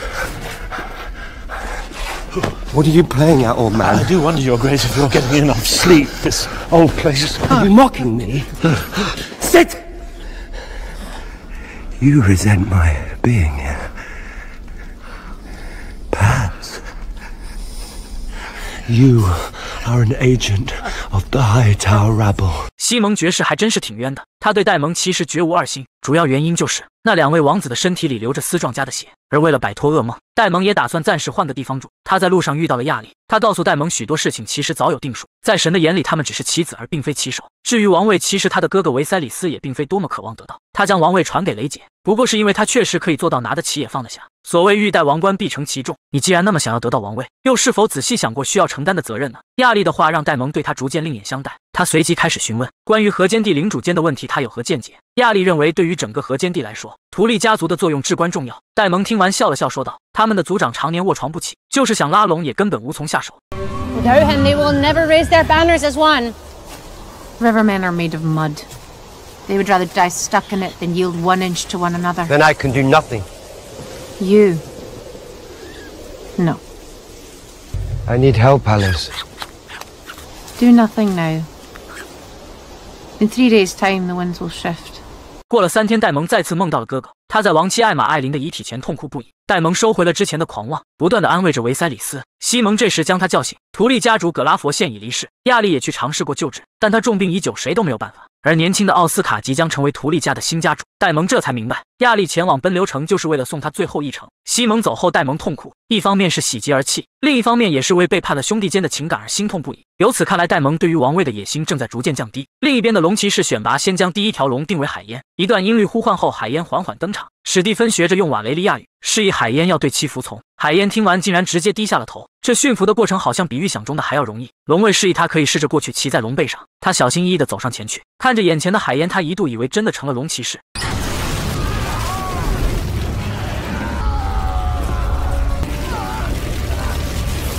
都说收益越大，风险越大，而这驯服巨龙的过程势必将是一场腥风血雨。面对谢岛爵士巴提摩斯的质问，雷姐一怒之下给了他一巴掌，提醒对方别忘了对他的尊敬。愤怒与焦急叠加，让他放下了柔和的一面。他本能的提起铁剑，展现出了内心中的亮剑精神。小梅这时前来劝谏，选取龙骑士的想法没有错，必要的伤亡也是在所难免。随后他接着说道：“上级他的计划正在稳步推进，君临城的民众正无处发泄怒火，而他们今晚就会将这怒火彻底点燃。伊蒙德或许会武力镇压，但那只会加深双方的仇恨，让民众的怒火不断持续下去。”君临城的小酒馆内，沃尔夫听到那位服侍过伊蒙德的老姐正在吹嘘，前几天摄政王的庆典上，他的姑娘们被派去助兴，他们不仅饱餐了一顿，临走的时候还都拿了一大笔钱。其实这位老姐是在故意散布消息，看来她已被小梅派去的手下成功策反。铁匠修夫的妻子排了一整天，等到了他的时候，食物却已发完。看着一旁护送巨龙口粮的队伍，食不果腹的民众开始无情谩骂。作为小梅的直接对手，绿党的情报总管拉里斯同样理解民心的重要性。他提醒伊蒙德应该对此加以重视。伊蒙德还是太年轻，只是简单的以为打破海蛇的贸易封锁，那些挨饿的人自会填饱肚子，根本不知道作为一名统治者，除了带兵打仗，他还要无时无刻的给民众注入希望。拉里斯眼看他听不进去，便换了话题。原来科尔是辅佐伊耿国王的，那现在新的国王之首是不是也该选了？Make it your responsibility. My prince, it is an honor I'd never considered for myself. Not to serve as hand, you toad, to fetch him. Send word to Otto Hightower. My grandsire may be overcautious, but his devotion to his family has never been in doubt. Hmm, you'll see it done. Your Grace. I am happy to report that His Grace the King has regained consciousness this morning, if only for a few moments. You said there was little hope. He is stronger than I thought. 伊蒙德嘴上说着高兴，实际上恨得牙根直痒。 伊耿却使命大，但眼下还是无法动弹，就连说话都十分费劲。伊蒙德有意施压，伊耿心领神会，表示对于那天的事情完全不记得。准备离开的伊蒙德又提点了一下大学士：“我哥看样子还需要很长时间才能恢复。”言外之意就是，你那医术什么的尽量停一停，并非所有人都希望伊耿会立即康复。另一边的鹰巢城内，雷尼亚收到了雷吉奥亲王的回信，他同意雷尼亚带着两位小王子伊耿三世与维塞里斯二世前往潘托斯。雷尼亚一早带着乔佛里在外面闲逛，发现了被龙焰烧焦的遗骸。简妮强调，确实有条巨龙会来这里寻找猎物，它的体积很大，但却并没有被人驯服。艾琳与亚当这对兄弟对待海蛇的态度其实不太一样。艾琳每天都会将长出的白发刮净，面对海蛇的提拔，他也经常推辞，就是为了不想让别人以为他是凭借与海蛇的关系才有了今天的成绩。亚当却觉得他是在浪费机会，为何这样的机会海蛇不给他呢？The riches, servants, the driftwood throne. We spend the whole of our lives in the shadow of the sea snake's great castle. Do not wish to dwell in it any longer. and so you belittle your great opportunity, while me, he ignores, as he always has. The sea snake would sooner have high tide claimed by the sea than call us his sons. 这里盲猜一下，因为亚当的头发是黑色，所以海蛇也有理由怀疑亚当并不是他亲生的。夜幕落下，小梅那燃起恩怨的火种也已抵达君临。 几艘黑党的小船陆续靠近岸边，上面的食物既是女王对臣民最好的馈赠，也是伊蒙德永远学不来的那注入民众内心最大的希望。科尔即将再次出征，太后本打算送行，却先碰见了弟弟加尔温。父亲奥托迟迟没有给他回信，弟弟表示不必在意，父亲一定有他的理由。听闻小儿子戴伦性情温良，不像两个哥哥一样乖张残暴，太后的情绪稍显安慰。她目送科尔慢慢离去，与第一次送别相比，少了几分情人间的留恋，却又多了几分世太方殿下的无奈。随后，他找到海伦娜，打算一同前往教堂，为伊耿点上一根蜡烛，用来祈福。而海伦娜的脸上毫无表情，仿佛伊耿从来就跟他没有任何关系。今天一早，君临城的平民便纷纷涌去岸边抢夺食物，铁匠修夫也顾不上什么道义，直接在别人手里抢下了一袋。民众的情绪被彻底点燃，他们将教堂包围，想找王室成员讨个说法。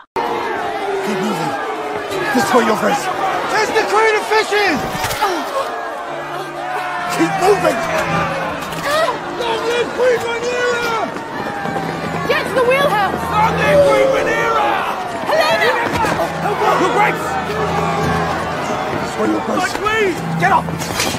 No! No! Sheathe your swords! Sheathe your swords! Wait!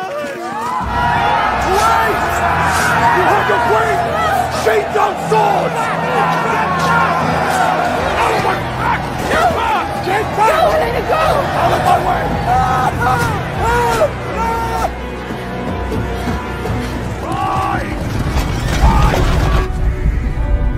被伊蒙德嫌弃的拉里斯再次找到伊耿，他拦下即将服用的止痛药，准备在他清醒的时候说出那些废之言。他一出生腿部便留下残疾，这是能换来一部分的同情，但更多的则是无情的冷眼。所以伊耿与他一样，都要直面身体的缺陷，从而积蓄更大的力量。两人的同盟在此确立。拉里斯将保障他的安全，伊耿也将韬光养晦，在逆境中寻找翻盘的机会。另一边的亚当正在海边工作，巨龙海烟忽然盘旋在了上空，随即俯冲直下，并且一路追着亚当不放。亚当躲进了树林，本以为逃过了一劫。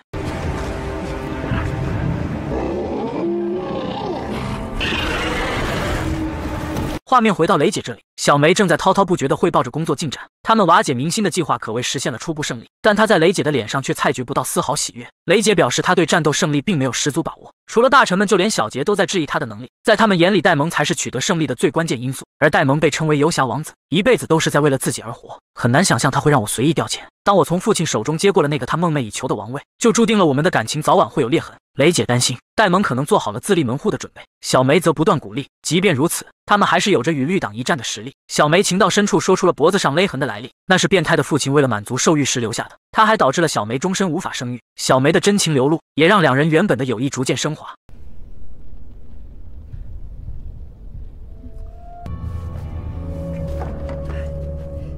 Begging your pardon, Your Grace.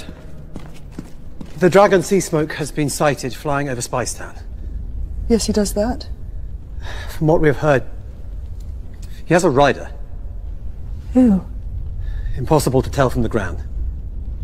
看着眼前的亚当，雷姐立刻表明身份。之前曾有过铺垫，亚当的性格是不甘平庸，早就想一展抱负，所以面对这千载难逢的机会，他立即单膝下跪宣誓对女王效忠。雷姐有些顾虑，于是上前询问。亚当坦言，他其实并未想过玉龙，是海燕主动找到他的。但既然天降大任，他也随时准备好了去为女王赴汤蹈火。当问到出身问题，亚当并未提到海蛇的名字，只是说他来自一个贫困的家族，并没有族谱。女王听完难掩兴奋，命令亚当即刻归队，纳入正式编制。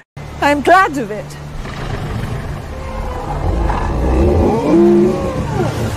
另一边的红堡内，伊蒙德正在处罚两位御林铁卫的关系户。法务大臣铁棍听闻了海燕被人驯服的消息，询问拉里斯是否该向摄政王汇报。拉里斯的立场明显倾向重伤的伊耿，所以他有意引导铁棍。这种空穴来风的谣言最好不要惊动伊蒙德，其目的就是为了让他掉以轻心。而一旦出现机会，他便可以扶持伊耿重夺实权。龙石岛的御前会议上，大家都在议论这位天选龙骑士。虽然不清楚对方的姓名，但海蛇还是隐约察觉到了一丝端倪。他没有继续多言，提前离席了御前会议。而小杰的目光有些异样，好像对这选拔结果并不算满意。眼下终于出现了第一位新晋龙骑士，但对雷姐来说还远远不够。小梅建议，其实除了那些有记载的正统血脉，还可以考虑君临城中那些没有名分的。这些人的社会地位较低，一旦破格成为龙骑士，定会对您感恩戴德。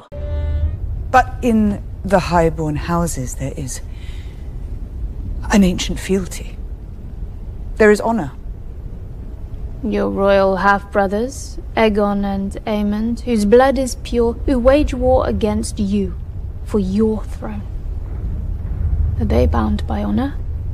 海蛇这边找到亚当， 他也很难想象亚当竟然成了御龙者。海蛇向来对艾琳偏爱有加，也正因此他现在多少有些歉意，于是特意过来以一位严父的口吻，郑重地向亚当送上了一句鼓励。随后他按照女王的指示找到艾琳，准备几艘船用来与君临那边联络。随即他说了亚当的事情，从两人的对话基本可以推断，兄弟俩的母亲应该具备坦格利安血统。这里还有一个小伏笔，之前贝尼拉曾对海蛇说过，他是血与火而潮头岛的继承者，该是盐与海。而眼下艾琳正向海蛇承诺，除了盐与海，他的人生中将别无所求。另一边的赫伦堡内，奥斯卡图利前来面见戴蒙，河间地的领主们则在外面等候。奥斯卡强调图利家族会谨守誓言，但誓言的核心内容是为女王效忠，言外之意就是戴蒙一定要立场鲜明，如若背叛女王，那就别怪图利家族翻脸。奥斯卡接着提醒，有些家族早与戴蒙结怨，所以能否悉数听命，他也不敢保证。正如奥斯卡预料的一样，位于河间地红粉城的派伯家族率先唱起了反调，他们的族长裴提尔派伯不断谴责戴蒙之前联合布莱伍德家族对布雷肯家族做出的种种恶行。正所谓英雄出少年，面对如此紧张的局面，年少的奥斯卡据理力争，那犹如王者的气场，甚至一度压制了戴蒙。威廉布莱伍德第一个下跪后宣誓效忠，不成想却被摆了一道。奥斯卡决定让他为之前犯下的罪行买单，而戴蒙为了赢下整个河间地，也不得不放弃了这位曾经的盟友。作为暗黑姐妹的持有者，其基本要求就是杀伐果断。戴蒙上前手起刀落。既是惩罚，也是某种意义上的杀人灭口。梦境仍在继续，这回梦中的维塞里斯已经到了生命末期，他拿着手中的王冠，示意自己其实并不渴望得到。同时，他也在提醒戴蒙，这个曾经他梦寐以求的东西，对他来说是否真的高于一切，包括两人间的兄弟情谊，当然也包括他与雷姐的感情。另一边的鹰巢城外，简妮送别了雷尼亚与两位小王子，他们将跨海前往潘托斯，以避免战争的波及。城门刚一关闭，雷尼亚便脱离队伍，寻找起了巨龙的踪迹。当年为了驯服海燕，他差点失去性命，但即便这样，成为御龙者的信念却丝毫没有动摇过。画面回到红堡，拉里斯提醒学士应该让伊耿增加训练，必须尽可能的提高他的康复速度。当然，他也会加派守卫，以防消息泄露出去。如今太后权力旁落，他叫上了侍卫瑞卡德·索恩爵士，打算只在他一人的陪同下，远离这喧闹红堡，去玉林散散心。玉林的位置如图所示，在君临城的南部是王室狩猎的地方。太后到此并不是想洗尽铅华，这片刻的平静过后，将是更为猛烈的腥风血雨。小杰这边找到雷姐，表达了对于平民玉龙的不满。这件事如果普及，势必会影响坦格利安家族的权威形象。而这些野生育龙者中，一旦某人自命不凡，开始凯王位，那对整个王朝的统治来讲，都将是毁灭性的。雷姐强调，这也是不得已而为之。小杰这时话锋一转：“Did you think I would have dark hair when you took Harwin Strong into your bed? Did you think I might favor him, or did it not cross your mind?” 原来对血统的偏执，正是出于他身世的特性。所谓箭在弦上，不得不发。平民玉龙的计划势在必行，雷杰也根本无法顾及上小杰的尊严。小梅让艾琳将信件带给君临那边的眼线。收到信后，那位侍女按照指示走遍大街小巷，散布选拔玉龙者的消息。酒友们听闻后，一同恭喜乌尔夫，但他对此的态度其实并不坚定。与其相比，另一边的铁匠修夫已经下定决心。他向妻子表明身世，母亲之前从事皮肉生意，并且留着一头银发。他曾对修夫说过，他兄弟的儿子就是维塞里斯和戴蒙。从这里可以推断，剧中修夫母亲的设定就是杰赫里斯国王的第九个孩子塞尼拉坦格利安。也就是说，杰赫里斯就是修夫的爷爷。塞尼拉因丑闻事件被送往旧镇，成为了一名修女。后来，他逃去了海峡对岸的里斯，做起了皮肉生意。原著中有过一则传闻，他的一个孩子非常像年轻时的杰赫里斯。这里还要插上一句，杰赫里斯国王的巨龙正是龙石岛上的青铜之怒沃米索尔，目前按体型排名第二，仅次于瓦格哈尔。眼看这 buff 都叠满了，咱们就直接快进到驯龙的环节。几十人一同来到龙石岛，龙卫将此理解为是对巨龙的亵渎，于是不顾雷姐的阻拦，集体罢工。这次的驯龙目标除了青铜之怒，还有一条名为银翼的巨龙。它的上一位拥有者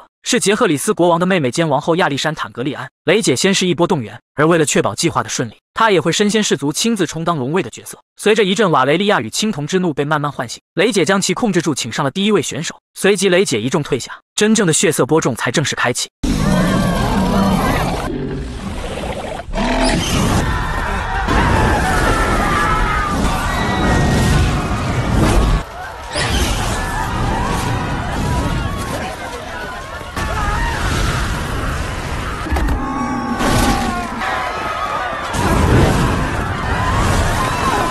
修夫克制住了内心的恐惧。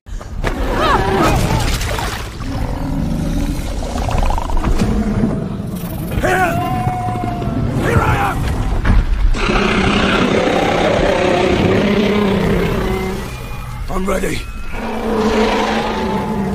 Come on!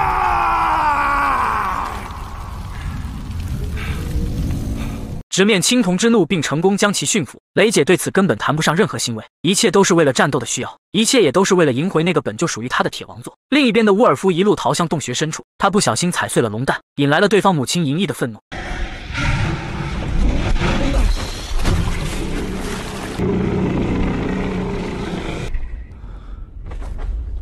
君临的御前会议上，铁棍正汇报着河湾地的战况。蒙德海塔尔遭遇了毕斯伯里家族的顽强阻击，而林曼毕斯伯里正是上一季被科尔当众抹了脖子的财政大臣，所以双方的仇恨不言而喻。铁棍接着说：“好在戴伦王子的隆特塞里恩终于可以参战，有了他的加入，海塔尔的军队定能横扫河湾地。”这时话音未落，窗外忽然传来守军们关于巨龙来袭的呼喊。伊蒙德见状立即做出反应，而飞抵君临上空的正是刚被驯服的银翼刀。乌尔夫看来很有御龙的天赋，第一次试飞便在君临的上空来回盘旋。伊蒙德则快马加鞭，骑上瓦格哈尔，朝着他离去的方向一路追去。前方就是龙石岛，瓦格哈尔眼看就要上头，不停嘶吼，一副决战的架势。伊蒙德忽然察觉出了异样，冷静判断，勒令他立即掉头。明面上是三条龙，其实还有海燕乐舞沃马克斯。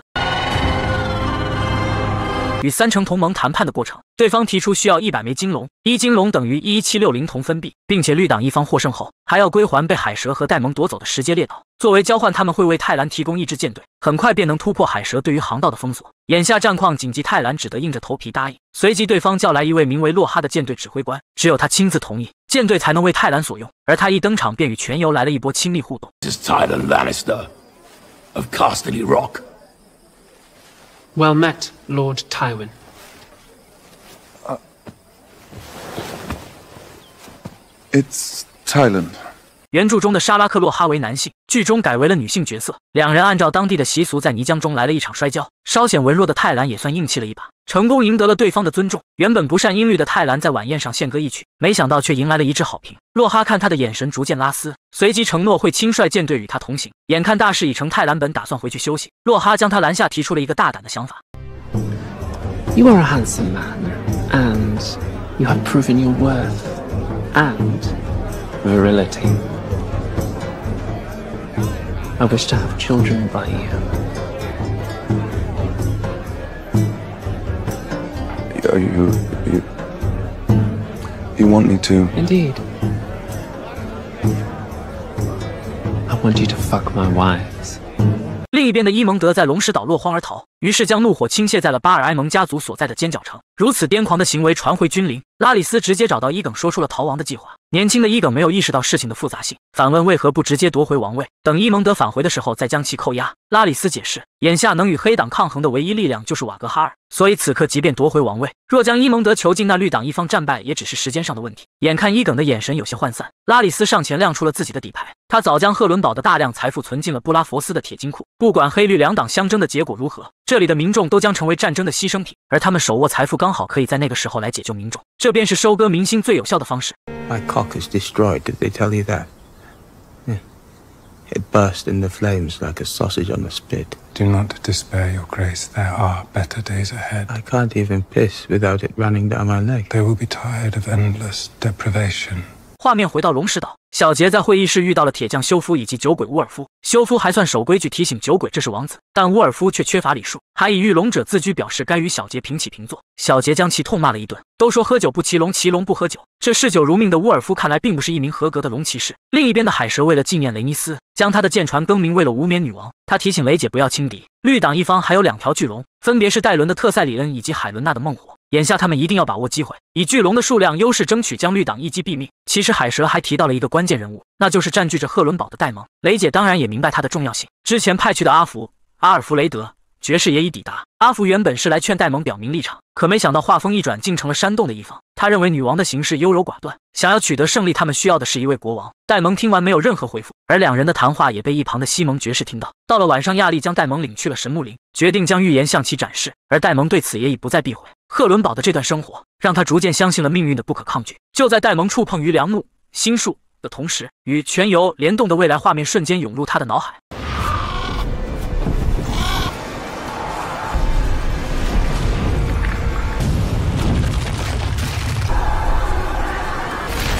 这段梦境的元素很多，从血压布林登和文，也就是全游中的三眼乌鸦，到夜王率领的异鬼大军，再到战死的巨龙，以及踏过血腥战场后沉入水中的戴蒙。之后又出现了全游中龙妈浴火后的三龙将士，最后是雷姐登上铁王座，以及梦行者海伦娜对他的忠告。这里我仔细对比了一下，那条战死的巨龙很像海燕，而为了避免剧透，梦境中预言的剧情咱们就不做进一步分析了。另一边的雷姐宴请了三位新晋龙骑士，这场宴会更为具体的展现了三人的性格。亚当基本不怎么说话，只是强调会为其效忠。乌尔夫话最多，但翻来覆去都是一副小人得志的嘴脸。铁匠修夫则比较务实，直接询问女王的下一步指示。雷姐决定要先发制人，提醒他们学好御龙的必备口令，两天后即将出战。就在这时，赫伦堡的西蒙爵士发来信件，戴蒙集结了大军，但他的立场恐怕有变。雷姐清楚事态的严重性，决定亲自去一趟赫伦堡，但他也做了两手准备，叫上亚当与他一同前往。雷姐抵达赫伦堡，西蒙爵士出门迎接，亚当则骑着海燕盘旋在上空，保持警戒。其实他对戴蒙的立场也很难确定，可以说有一定赌的成分。叙拉克斯落在破旧的屋顶上，喧闹的众人也逐渐安静。戴蒙在赫伦堡做了一整季的梦，也正是这些梦境让他与雷姐的距离再次拉近，或者说他彻底想清了自己想要的究竟是什么。而除了精神层面，还有一件客观事实也影响了戴蒙的决定，那就是河间地的图利家族对女王的坚定拥护。戴蒙缓缓走进雷姐，而面对河间地的诸位将士，女王最需要的就是戴蒙的表态。他用瓦雷利亚语告诉雷姐，那冰与火之歌的传说他也看到了，凛冬将至，那些外来入侵者才是他们真正的敌人。You are the true queen, Rhaenyra. First of her name, protector of the realm. I am meant to serve you, and all of these with me, until death, or the end of our story. For every one of us who falls, a hundred of them, there will be no mercy. We fight for our queen. 再来看看另一边的君临， 太后找到海伦娜，试探着询问是否想过离开这里。作为梦行者的海伦娜，其实早就看破了一切，所以在哪儿生活对她来说都没有区别。这时，伊蒙德不请自来，为了避免更多坦格利安的血统逃去龙石岛，他不顾民众的生计问题，彻底封锁了渔船。而找到海伦娜，就是为了让她与孟火加入战局。眼看对方不同意，伊蒙德打算来硬的。忍了好久的太后终于爆发，将她的这种无能狂怒从头到脚的奚落了一遍。她将愤怒倾泻到了尖角城的平民头上，这对战局根本起不到任何作用，不过是想用外在的强大来掩盖内心的软弱与恐惧。想取得胜利有多种方法，但唯一不可行的就是让纯良的海伦娜去屠戮生命。教训完了伊蒙德太后，找到大学士，他打算离开君临，为了战争的和平解决做最后一搏。晚些时候，伊蒙德再次找到海伦娜，以近乎祈求的口吻劝他与其联手前往赫伦堡。其实从海伦娜的角度来说，当王子杰赫里斯被人残害后，他便自我确认了梦行者的预知能力，所以从那以后他不问世事，甚至面对伊耿重伤也十分平静。Will you burn me as you did Aegon? I could have you killed. Wouldn't change anything. 接下来是两段不太重要的分线剧情，一段是洗白科尔面对加尔温关于他与太后关系的质问，科尔表示太后救了他两次，所以太后的一切要求他都会无条件的服从。他们或许终有一天会死在巨龙间的搏杀中，但如果真的死了，又何尝不是一种解脱呢？另一段是海蛇与艾琳的对话，这里解释了艾琳为何不愿接受海蛇的提拔，因为从小到大海蛇都没有关心过他们兄弟，直到正统继承人相继离世，这所谓的父亲才横空出现，所以他立下誓言要凭自己的本事闯出一片天地。深夜的龙石岛上，太后见到了雷姐，两人先是一番互相拉扯，太后随即说出了她的计划：伊蒙德即将与科尔会合，前往赫伦堡，到时候海伦娜会以王后的身份摄政。太后承诺，她会让君临城的守卫放弃一切抵抗，雷姐可以不费一兵一卒成功坐上铁王座。当提到处置伊耿的问题，太后连忙为其开脱，但雷姐的态度非常明确，必须要将伊耿处决。Let us be done with this. Please. History will paint you a villain. Let them think what they must. With no ambition greater than to walk where I please and to breathe the open air. To die unremarked and unnoticed. Come with me. It's decided for me long ago. 太后这句跟我走，足以看出两人之间的情谊。而如今，不仅各为其主，雷姐也不可能放弃那家族世代守护的秘密。《冰与火之歌》故事最后是一段为第三季铺垫的平行剪辑。海塔尔家的部队从旧镇缓缓进发，绿党盘旋在天空上的正是戴伦王子的巨龙特塞里恩。北境狼家的部队也已抵达滦河城，黑党打算借助河流一路南下后支援赫伦堡。兰尼斯特绿党。从西境出发，沿着河间大道一路向东，河间地近在眼前，不远处便是图利家所在的奔流城。赫伦堡的戴蒙正在清点军队，随时准备与绿党正面交锋。三城同盟的舰队浩浩荡荡，他们横跨峡海，准备前往猴岛与海蛇的舰队展开较量。对巨龙抱有执念，雷尼亚几经辗转，终于发现了那条以羊为食的巨龙。偷羊贼，曾经的权臣奥托被关在了一个地方，看来他在夏季还会有所作为。而最惨的莫过于伊耿，他不仅成了落跑国王，还被亲生母亲判了死刑。本季中，